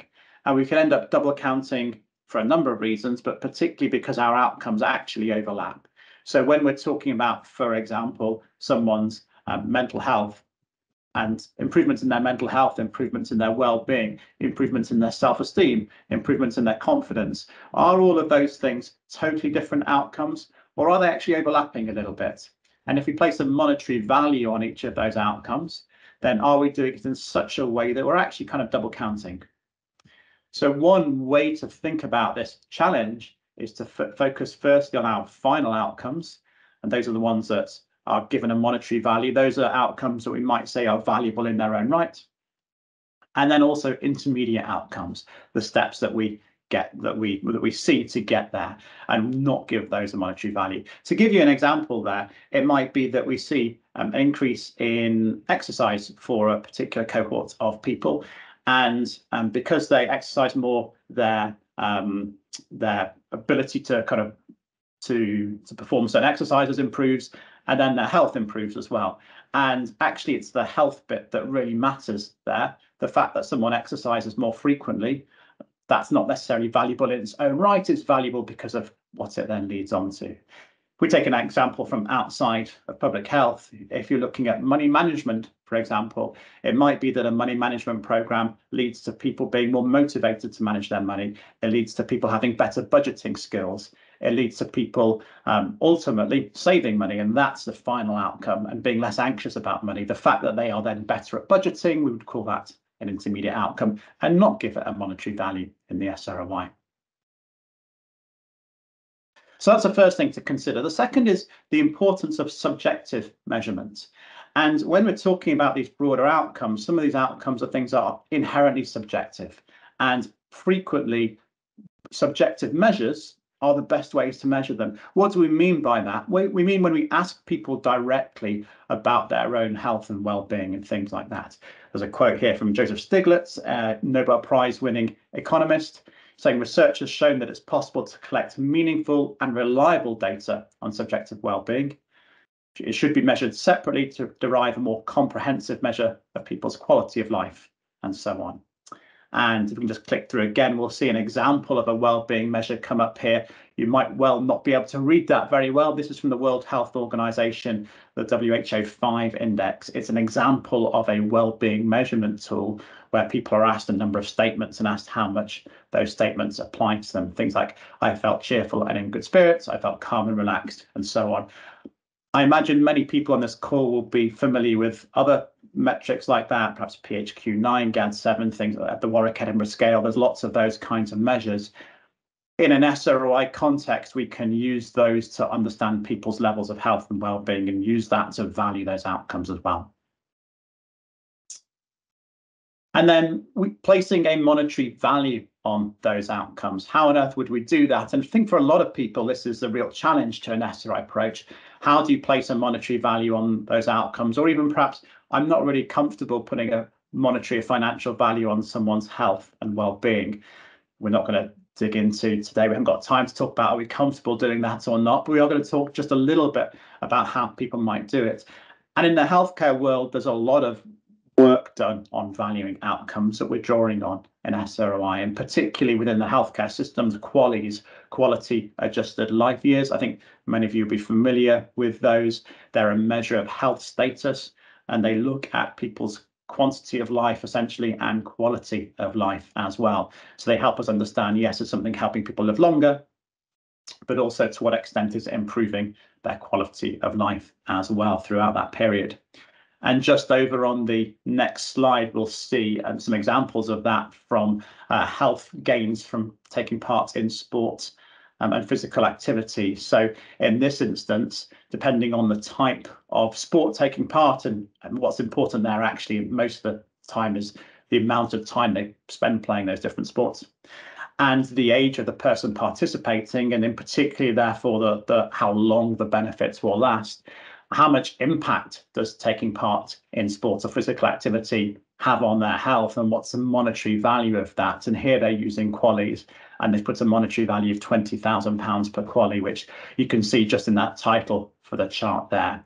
So this is an example of where we're measuring participation in sport and exercise and we're drawing on other research that maps the health outcomes of that participation and then places a monetary value on that.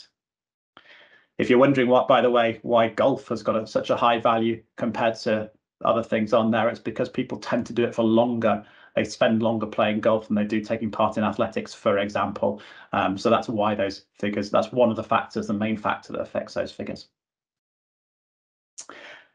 And so moving on to the impact questions. So one of the stages of SROI was about um, considering impact, and there's three key considerations here. Something called dead weight, sometimes also known as a counterfactual. Neither of those terms are necessarily the most user-friendly terms in the world, but essentially there we're looking at what would have happened anyway. And in some cases, that's just trying to find a benchmark or an estimate of um, changes perhaps in well-being of, of a similar group of people. If we're testing pharmaceutical drugs, then we would have a double-blind control group to help us understand that uh, in a randomized control trial. In most public health interventions, that kind of approach isn't possible. So usually we're looking at some kind of benchmarks. I think this is particularly important when we're looking at pre preventative approaches where we're trying to reduce negative outcomes because you might not actually see any change for individuals but preventing a change is actually a positive impact because this dead weight is that things, you know, people might have fallen more frequently or people's mental health may have deteriorated, for example. I'm not going to talk now about the final one, displacement, but this middle one, attribution, is important. This is an understanding of how much credit we can take for the change, and it's it's being realistic about the contribution of different organisations involved and different partners involved. And I think particularly in this instance for public health, sometimes a public health intervention may act as a catalyst for change. It may be that actually people are um, people are referred on to other services, for example, um, and those other services might take a large amount of credit for the for the outcome, for the values, but it wouldn't have happened without the input of this other service as well. So how does all of this come together. And I'm going to wrap up here by just showing a couple of uh, calculations. And sorry, the, uh, the numbers have moved across uh, a, a, little bit, but this is a a very rough and ready calculation first off for increasing someone's well-being and represented in numbers of QALYs. Remember, QALYs are quality adjusted life years, so it's a proportion of health. So what we have here is working through from left to right. We have the number of stakeholders affected. In this instance, a thousand people to make the maths a little bit easier. We'll look at the change in well-being. So we've got a well-being pre-measurement and a post-measurement that might have been uh, conducted. Those numbers might have arisen through the WHO 5 index that we showed earlier. Those numbers have been converted to a scale that runs from zero to one. So that one would be hitting all the top scores and zero would be hitting all the bottom scores. So they've moved from 0.45 before to 0.64 afterwards, and that will give us a change in well-being. They've gained a number of QALYs through that, 0.352. Where does that come from? Well, that's from some research for the Centre for Mental Health that looked at um, the QALY impact of changes in well-being and mental health. We're taking a share of the attribution, a share of the credit there, and that gives us a number of QALYs created of 33.4 QALYs across those 1,000 people.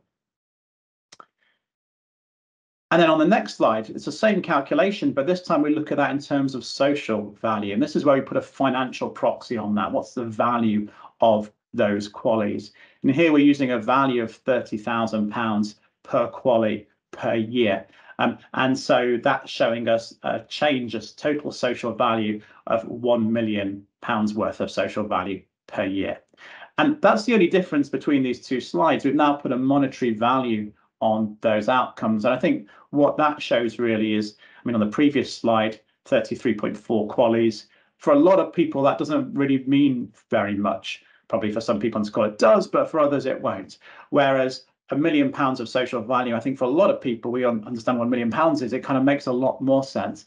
And also that allows us perhaps more readily to compare it with different types of programs, perhaps that aren't focused on people's health but also compare it to the investment that we put in. Was it worth it or not?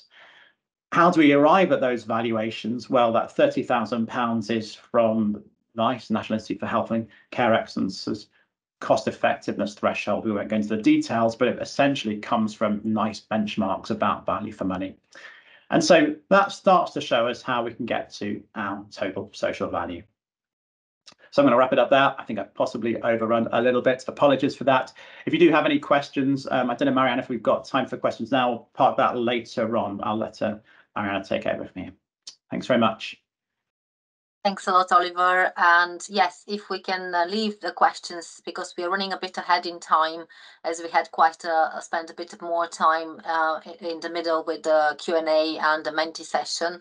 So I'll just uh, hand over to Kath. And if there are any questions um, or maybe uh, Oliver, you can see in the chat. I think there are a couple of for you. Maybe you can answer them in the chat uh, because I think they are relevant for uh, you know it's more technical for you. If you can answer them in the chat, that would be great. Otherwise, we can answer them after the webinar as well.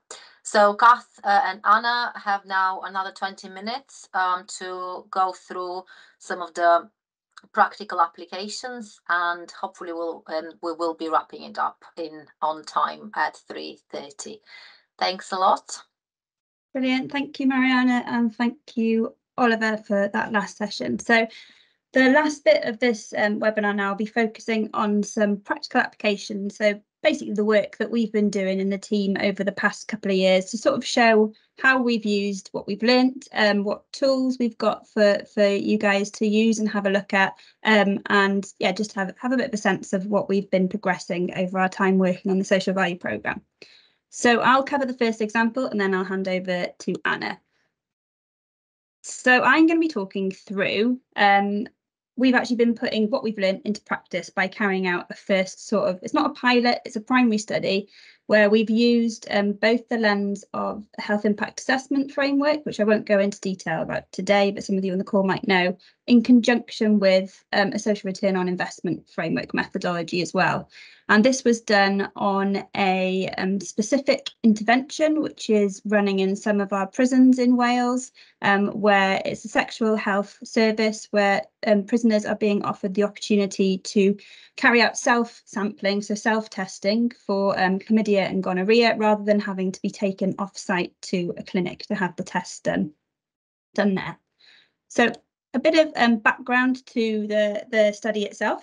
So in May 2020, the Test and Post service was launched for the general public um, in Wales, where if you wanted to request a sexual health test, this was particularly during COVID, um, you could go online and request for a kit to be sent um, to your house. You could do them the swabbing yourself at home and then return the test kit um, to be tested in the lab via the postal service. But however, prisoners don't have regular access to computers or the internet or postal services. So therefore, an analogue version of the service was set up by a team at Public Health Wales. So this was motivated by one, prisoners not having equitable healthcare and prisoners were often having to wait about two weeks for appointments at the sexual health clinic because they had to be taken off site. So the aim of our particular study was to provide a service evaluation of this self-sampling, self-test service and measure its social value through the combined lens of health impact assessment and social return on investment. So it's just give an overview as well of what this new self-sampling service, how it differed to standard practice, the standard in-clinic test that the, the prisoners were used to receiving. So if you look at the, the right-hand side, we've got the standard practice. So prisoners go to the health wing um, to request an STI test in prisons. Um, then they wait approximately two weeks for an appointment at the external sexual health clinic. I should note now this is in an open prison setting, so prisoners are allowed off-site for particular reasons. So prisoners were then transported via a taxi to the sexual health clinic, and then the test is carried out by a healthcare worker in that clinic who then sends the test off to the lab and then the patients receive the results via a letter if it's negative, and then in clinic in the in the in the prison, sorry, if it's positive.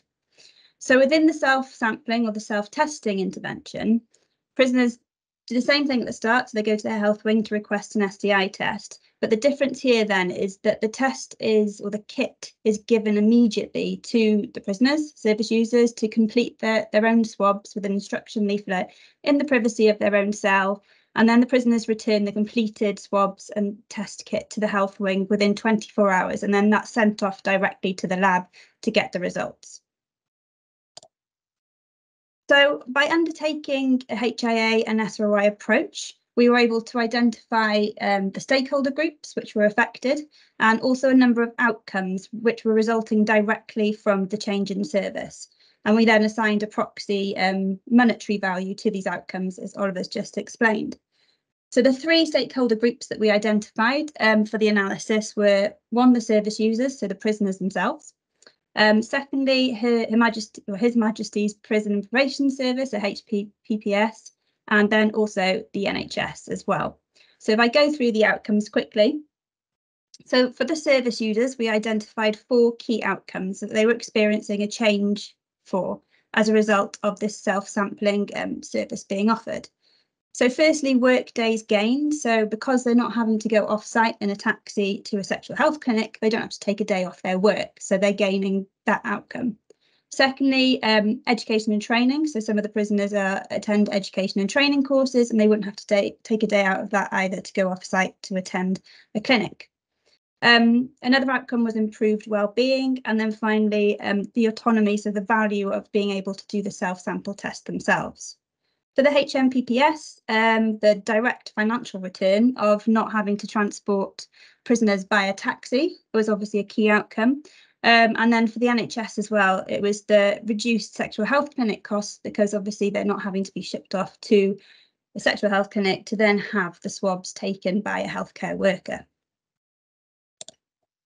So what did we find? Um, we found for that every pound invested, um, there was a social value created of four pounds and 14 pence. Um, and then we took this further to, to help illustrate where that value had been created.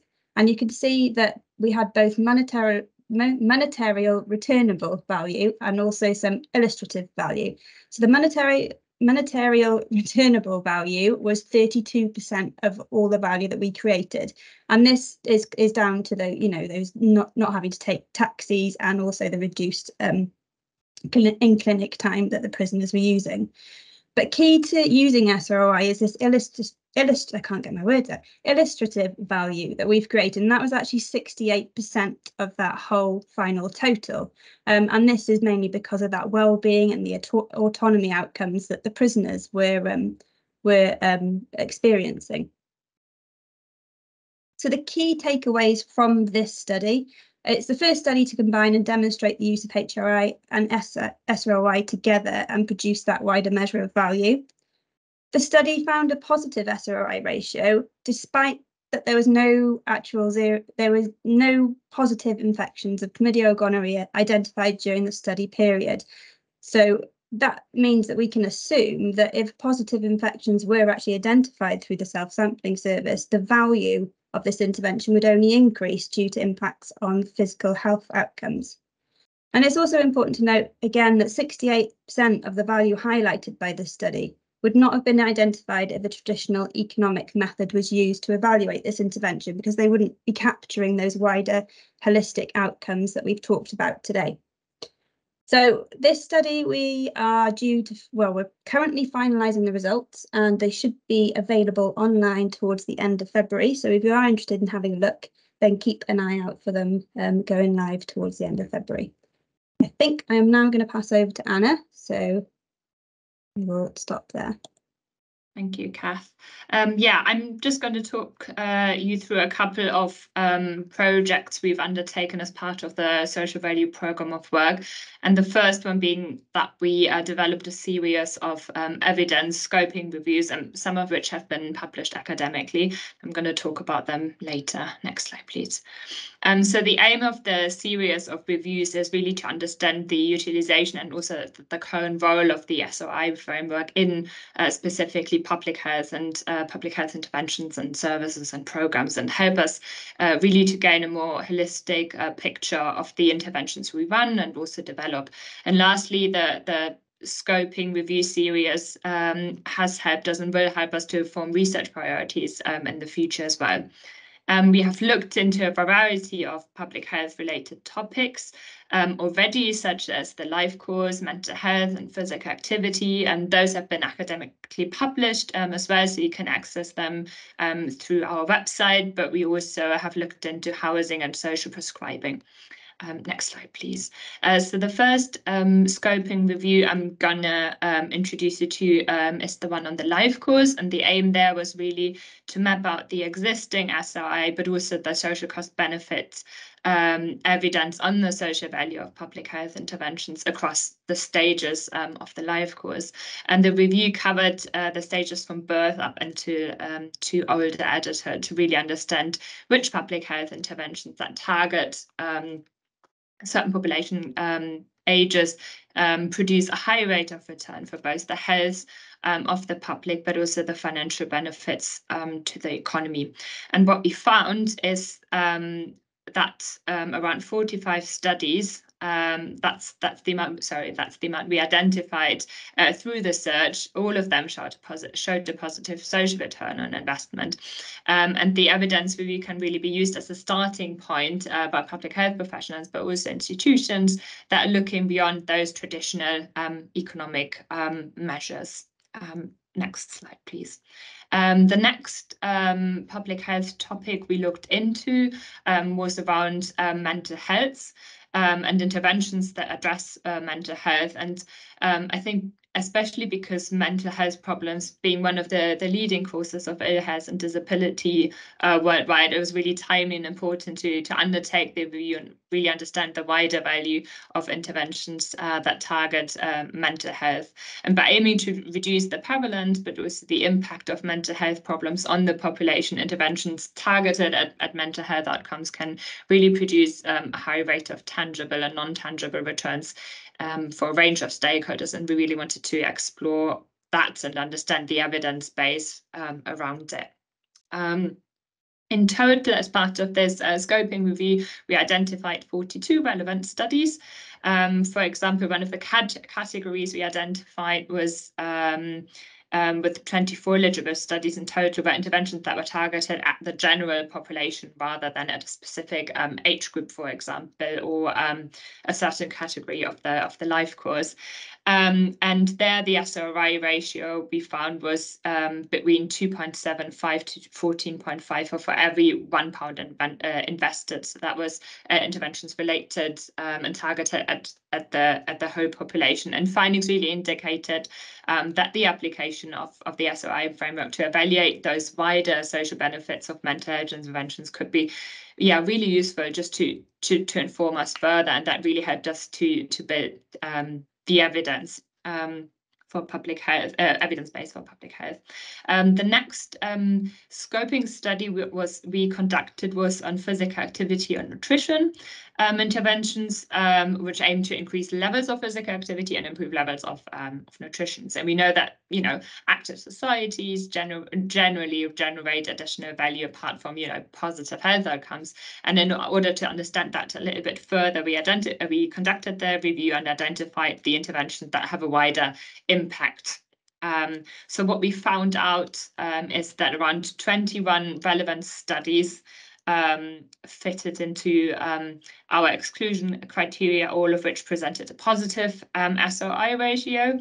Um, 18 studies um, involved in the inter uh, in, involved in the interventions associated with the physical activity reported SROI ratios between 1.91 to 22.37 pound for every one pound invested. So you can see there's a quite quite a wide range of ratios um, we found that so the scoping review again identified a range of outcomes associated with the interventions and as previously mentioned by some of the speakers um, SROI is, uh, the SROI framework is really used to to understand the wider benefits. So part of it is obviously understanding the the right range of outcomes and some of the outcomes we identified as part of the this scoping review were, were for example educational performance uh, but also reduced isolation. So that's a variety of outcomes um, we identified not just uh, in relation to um, increasing physical activity, for example, um, and improving uh, nutrition. And really, the nature of these these scoping reviews we conducted shows uh, shows us that it has become really, really important that the holistic impact of public health interventions and program is understood, so that interventions that have the greatest value to people can be developed and implemented and financed um, further. So those three um, scoping reviews I just mentioned have all been academically published, so you can um, access it through our website um, if you are interested in. Um, and uh, the next um, project I want to talk talk to you about is the social value database, and that's actually very much linked to the scoping reviews I just briefly um, mentioned. So um, we launched the social value database, or SVDS for short, um, back in 2022, and is it is a tool that enable us to, uh, enables us to store, present, um, and to a certain extent also manipulate um, SROI data to support prioritization and investment decision making. And it consists of um, a live database of available and relevant SROI evidence, um, which which came actually from the uh, scoping reviews I just uh, mentioned. And the second part is this interactive tool, which allows us to create simulated studies. Um, next slide, please. Um, so as I mentioned earlier, the database was informed by evidence extracted from the scoping reviews of existing SROI evidence. Um, currently, the SVDS, um, so the database stores information from interventions related to um, early years, mental health, nutrition, and physical activity, but also work on social prescribing. Um, studies were quality ensured and study data from relevant studies extracted into the database um, around study level information, but we ha also have um, extracted information around um, the economic information and uh, obviously the SROI analysis um, data fields. The database currently stores uh, around, I think, 76 studies, so it's quite a comprehensive database um, showing various studies um, and their outcomes. Next slide, please. Um, in summary, the um, and apologies if that's a little small on your screen now, but in summary, the majority of SROI-related public health interventions derived uh, with most of them related to mental health. Actually, that I think that accounts for around 49 of them, followed by healthy communities-related ones, which I think is around 25. Um, the table indicates the type of public health intervention of the, and the number of studies we identified in relation to this. Um, you can see this also presented um, in the graph. Next slide, please. Um, in total, uh, in total from these uh, over 76 studies which are currently um, in the database, we extracted over a thousand outcomes from the included studies, which which I think is is uh, quite quite comprehensive already, all of which are now presented and stored in the database. 28% um, of all the outcomes are classified as mental health and well-being related outcomes. Um, and you can also hopefully see that a little bit um, in the graph presented on the slide. Um, next slide, please. Um, in regards to outcome valuation methods, um, and I think Oliver touched on it that earlier, or maybe Kath, um, in regards to the outcome evaluation methods, over 30% of outcomes are valued using a unit cost proxy. Um, around 23% of outcomes are valued uh, using a market value proxy, uh, and only 10% of outcomes are valued um, using a proxy um, from the HACT proxy um, proxy bank. Next slide, please, Kath. Um, and I appreciate this slide might be a very small, but it basically shows you the valuation breakdown I just uh, mentioned earlier, just in a um, in a designed um, way, indicating the type of outcomes such as mental health, uh, physical activity, government resources savings, and so on, mapped against which uh, valuation um, has been applied. Next slide, please, Kath. Um, so um, uh, also apologies to mention, so if you would like to access the database, uh, please feel free to drop us a message in the chat um, or email us um, and we are happy to grant you access and give you login details so you can have a look at the at the data in the in the tool itself. Um, so the next um, project um, I would like to introduce you to was is called the footprint analysis, or also the uh, NHS contribution to the Welsh economy. It's a piece of work that tries to understand the NHS contribution to the Welsh economy, as I just said, and aims to quantify the contribution of the healthcare sector, so the NHS in particular, to the wider economy in Wales. Next slide, please. The study we undertook looked at the economic output population income, valued added imports, and employment. And it really um, tried to provide an empirical evidence to help build an economy that is based on principles of fair work and sustainability. Um, the methodology we used um, is as follows. The anal analysis um, relies on an input-output table, as I mentioned earlier, which show the interdependency between different sectors um, of the economy in Wales. For example, the healthcare sector rely, rely, will rely on purchasing goods and services um, from many other sectors. So, for example, um, hospitals, uh, they require power, water, and food supplies. Um, uh, NHS employees require uniform, um, uniforms, ambulances need to be maintained and fueled. So all these kind of things um, were part um, of these input-output tables. next slide, please. Um, the analysis can help to strengthen, first of all, the role of the healthcare sector in the foundational economy in Wales, and it informs decision making and budget allocation towards uh, towards it, and provides um, an opportunity to really support procurement, employment, um, supply chains, um, and service provision towards enhancing NHS uh, NHS's role as an anchor institution um, at a local level. And what our findings indicate, and we split them in three um, key messages, is that the NHS in Wales is one of the most uh, significant economic sectors um, and a powerful stabilizer and investment multiplier rather than an economic drain as it's often been seen. The NHS in Wales plays an increasingly important role in generating sustainable development um, by ensuring high quality employment and responsible and sustainable purchasing procurement of goods and services.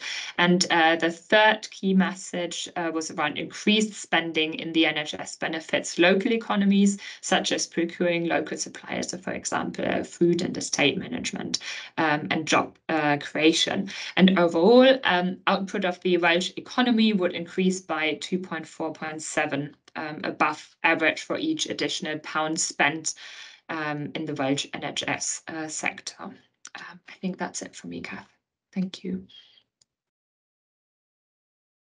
Thanks a lot, Anna and Kath. Uh, that's been uh, quite, uh, uh, well, a whistle stop really through everything we, we have been doing. I hope it has been uh, interesting and useful um, uh, for um, uh, for you. Um, we don't have much time. I was been I've been monitoring, and the colleagues from public health um, uh, from from the network. Um, so we can't see any questions which we haven't been which haven't been answered. But if there are any, please do um, uh, send us. We can we are happy to um, to answer after the the webinar. Um, so a big thanks uh, to Kath and Anna and Oliver um, for uh, providing this um, um, a whistle stop, but a very uh, still comprehensive um, overview of the social value approach uh, and the social return investment methodology. Uh, and hopefully this has been interesting and useful. And uh, we're very happy to uh, follow up and have how potentially this can be applied in your work. Um, also, um, uh, colleagues have um, uh, pasted, so have uh, uh, uh, included in the chat the link to a short um, evaluation. So we'll be grateful if everyone uh, joining the webinar could complete the short evaluation and it will be also sent by email. and also you're welcome to join the Public Health Network Cymru if you're not already a member. And finally, if you have any thoughts about any future webinar topics, please do um, let the team know. I think um, uh, we are uh, now at the end. So unless there is anything burning from colleagues from the Public Health Network or my colleagues, I think I'll close um, the masterclass here. And we're very much looking forward to continuing working um, and linking with yourselves um, and trying to progress this um, um, area uh, more as we definitely see uh, benefit and um, uh, also support to uh, the sort of a wider legislation and uh, uh, regulatory context, uh, but also uh, also for the benefit of the uh, health and well-being of the population in, in Wales. Thank you all for your participation and uh, have a lovely rest of the day.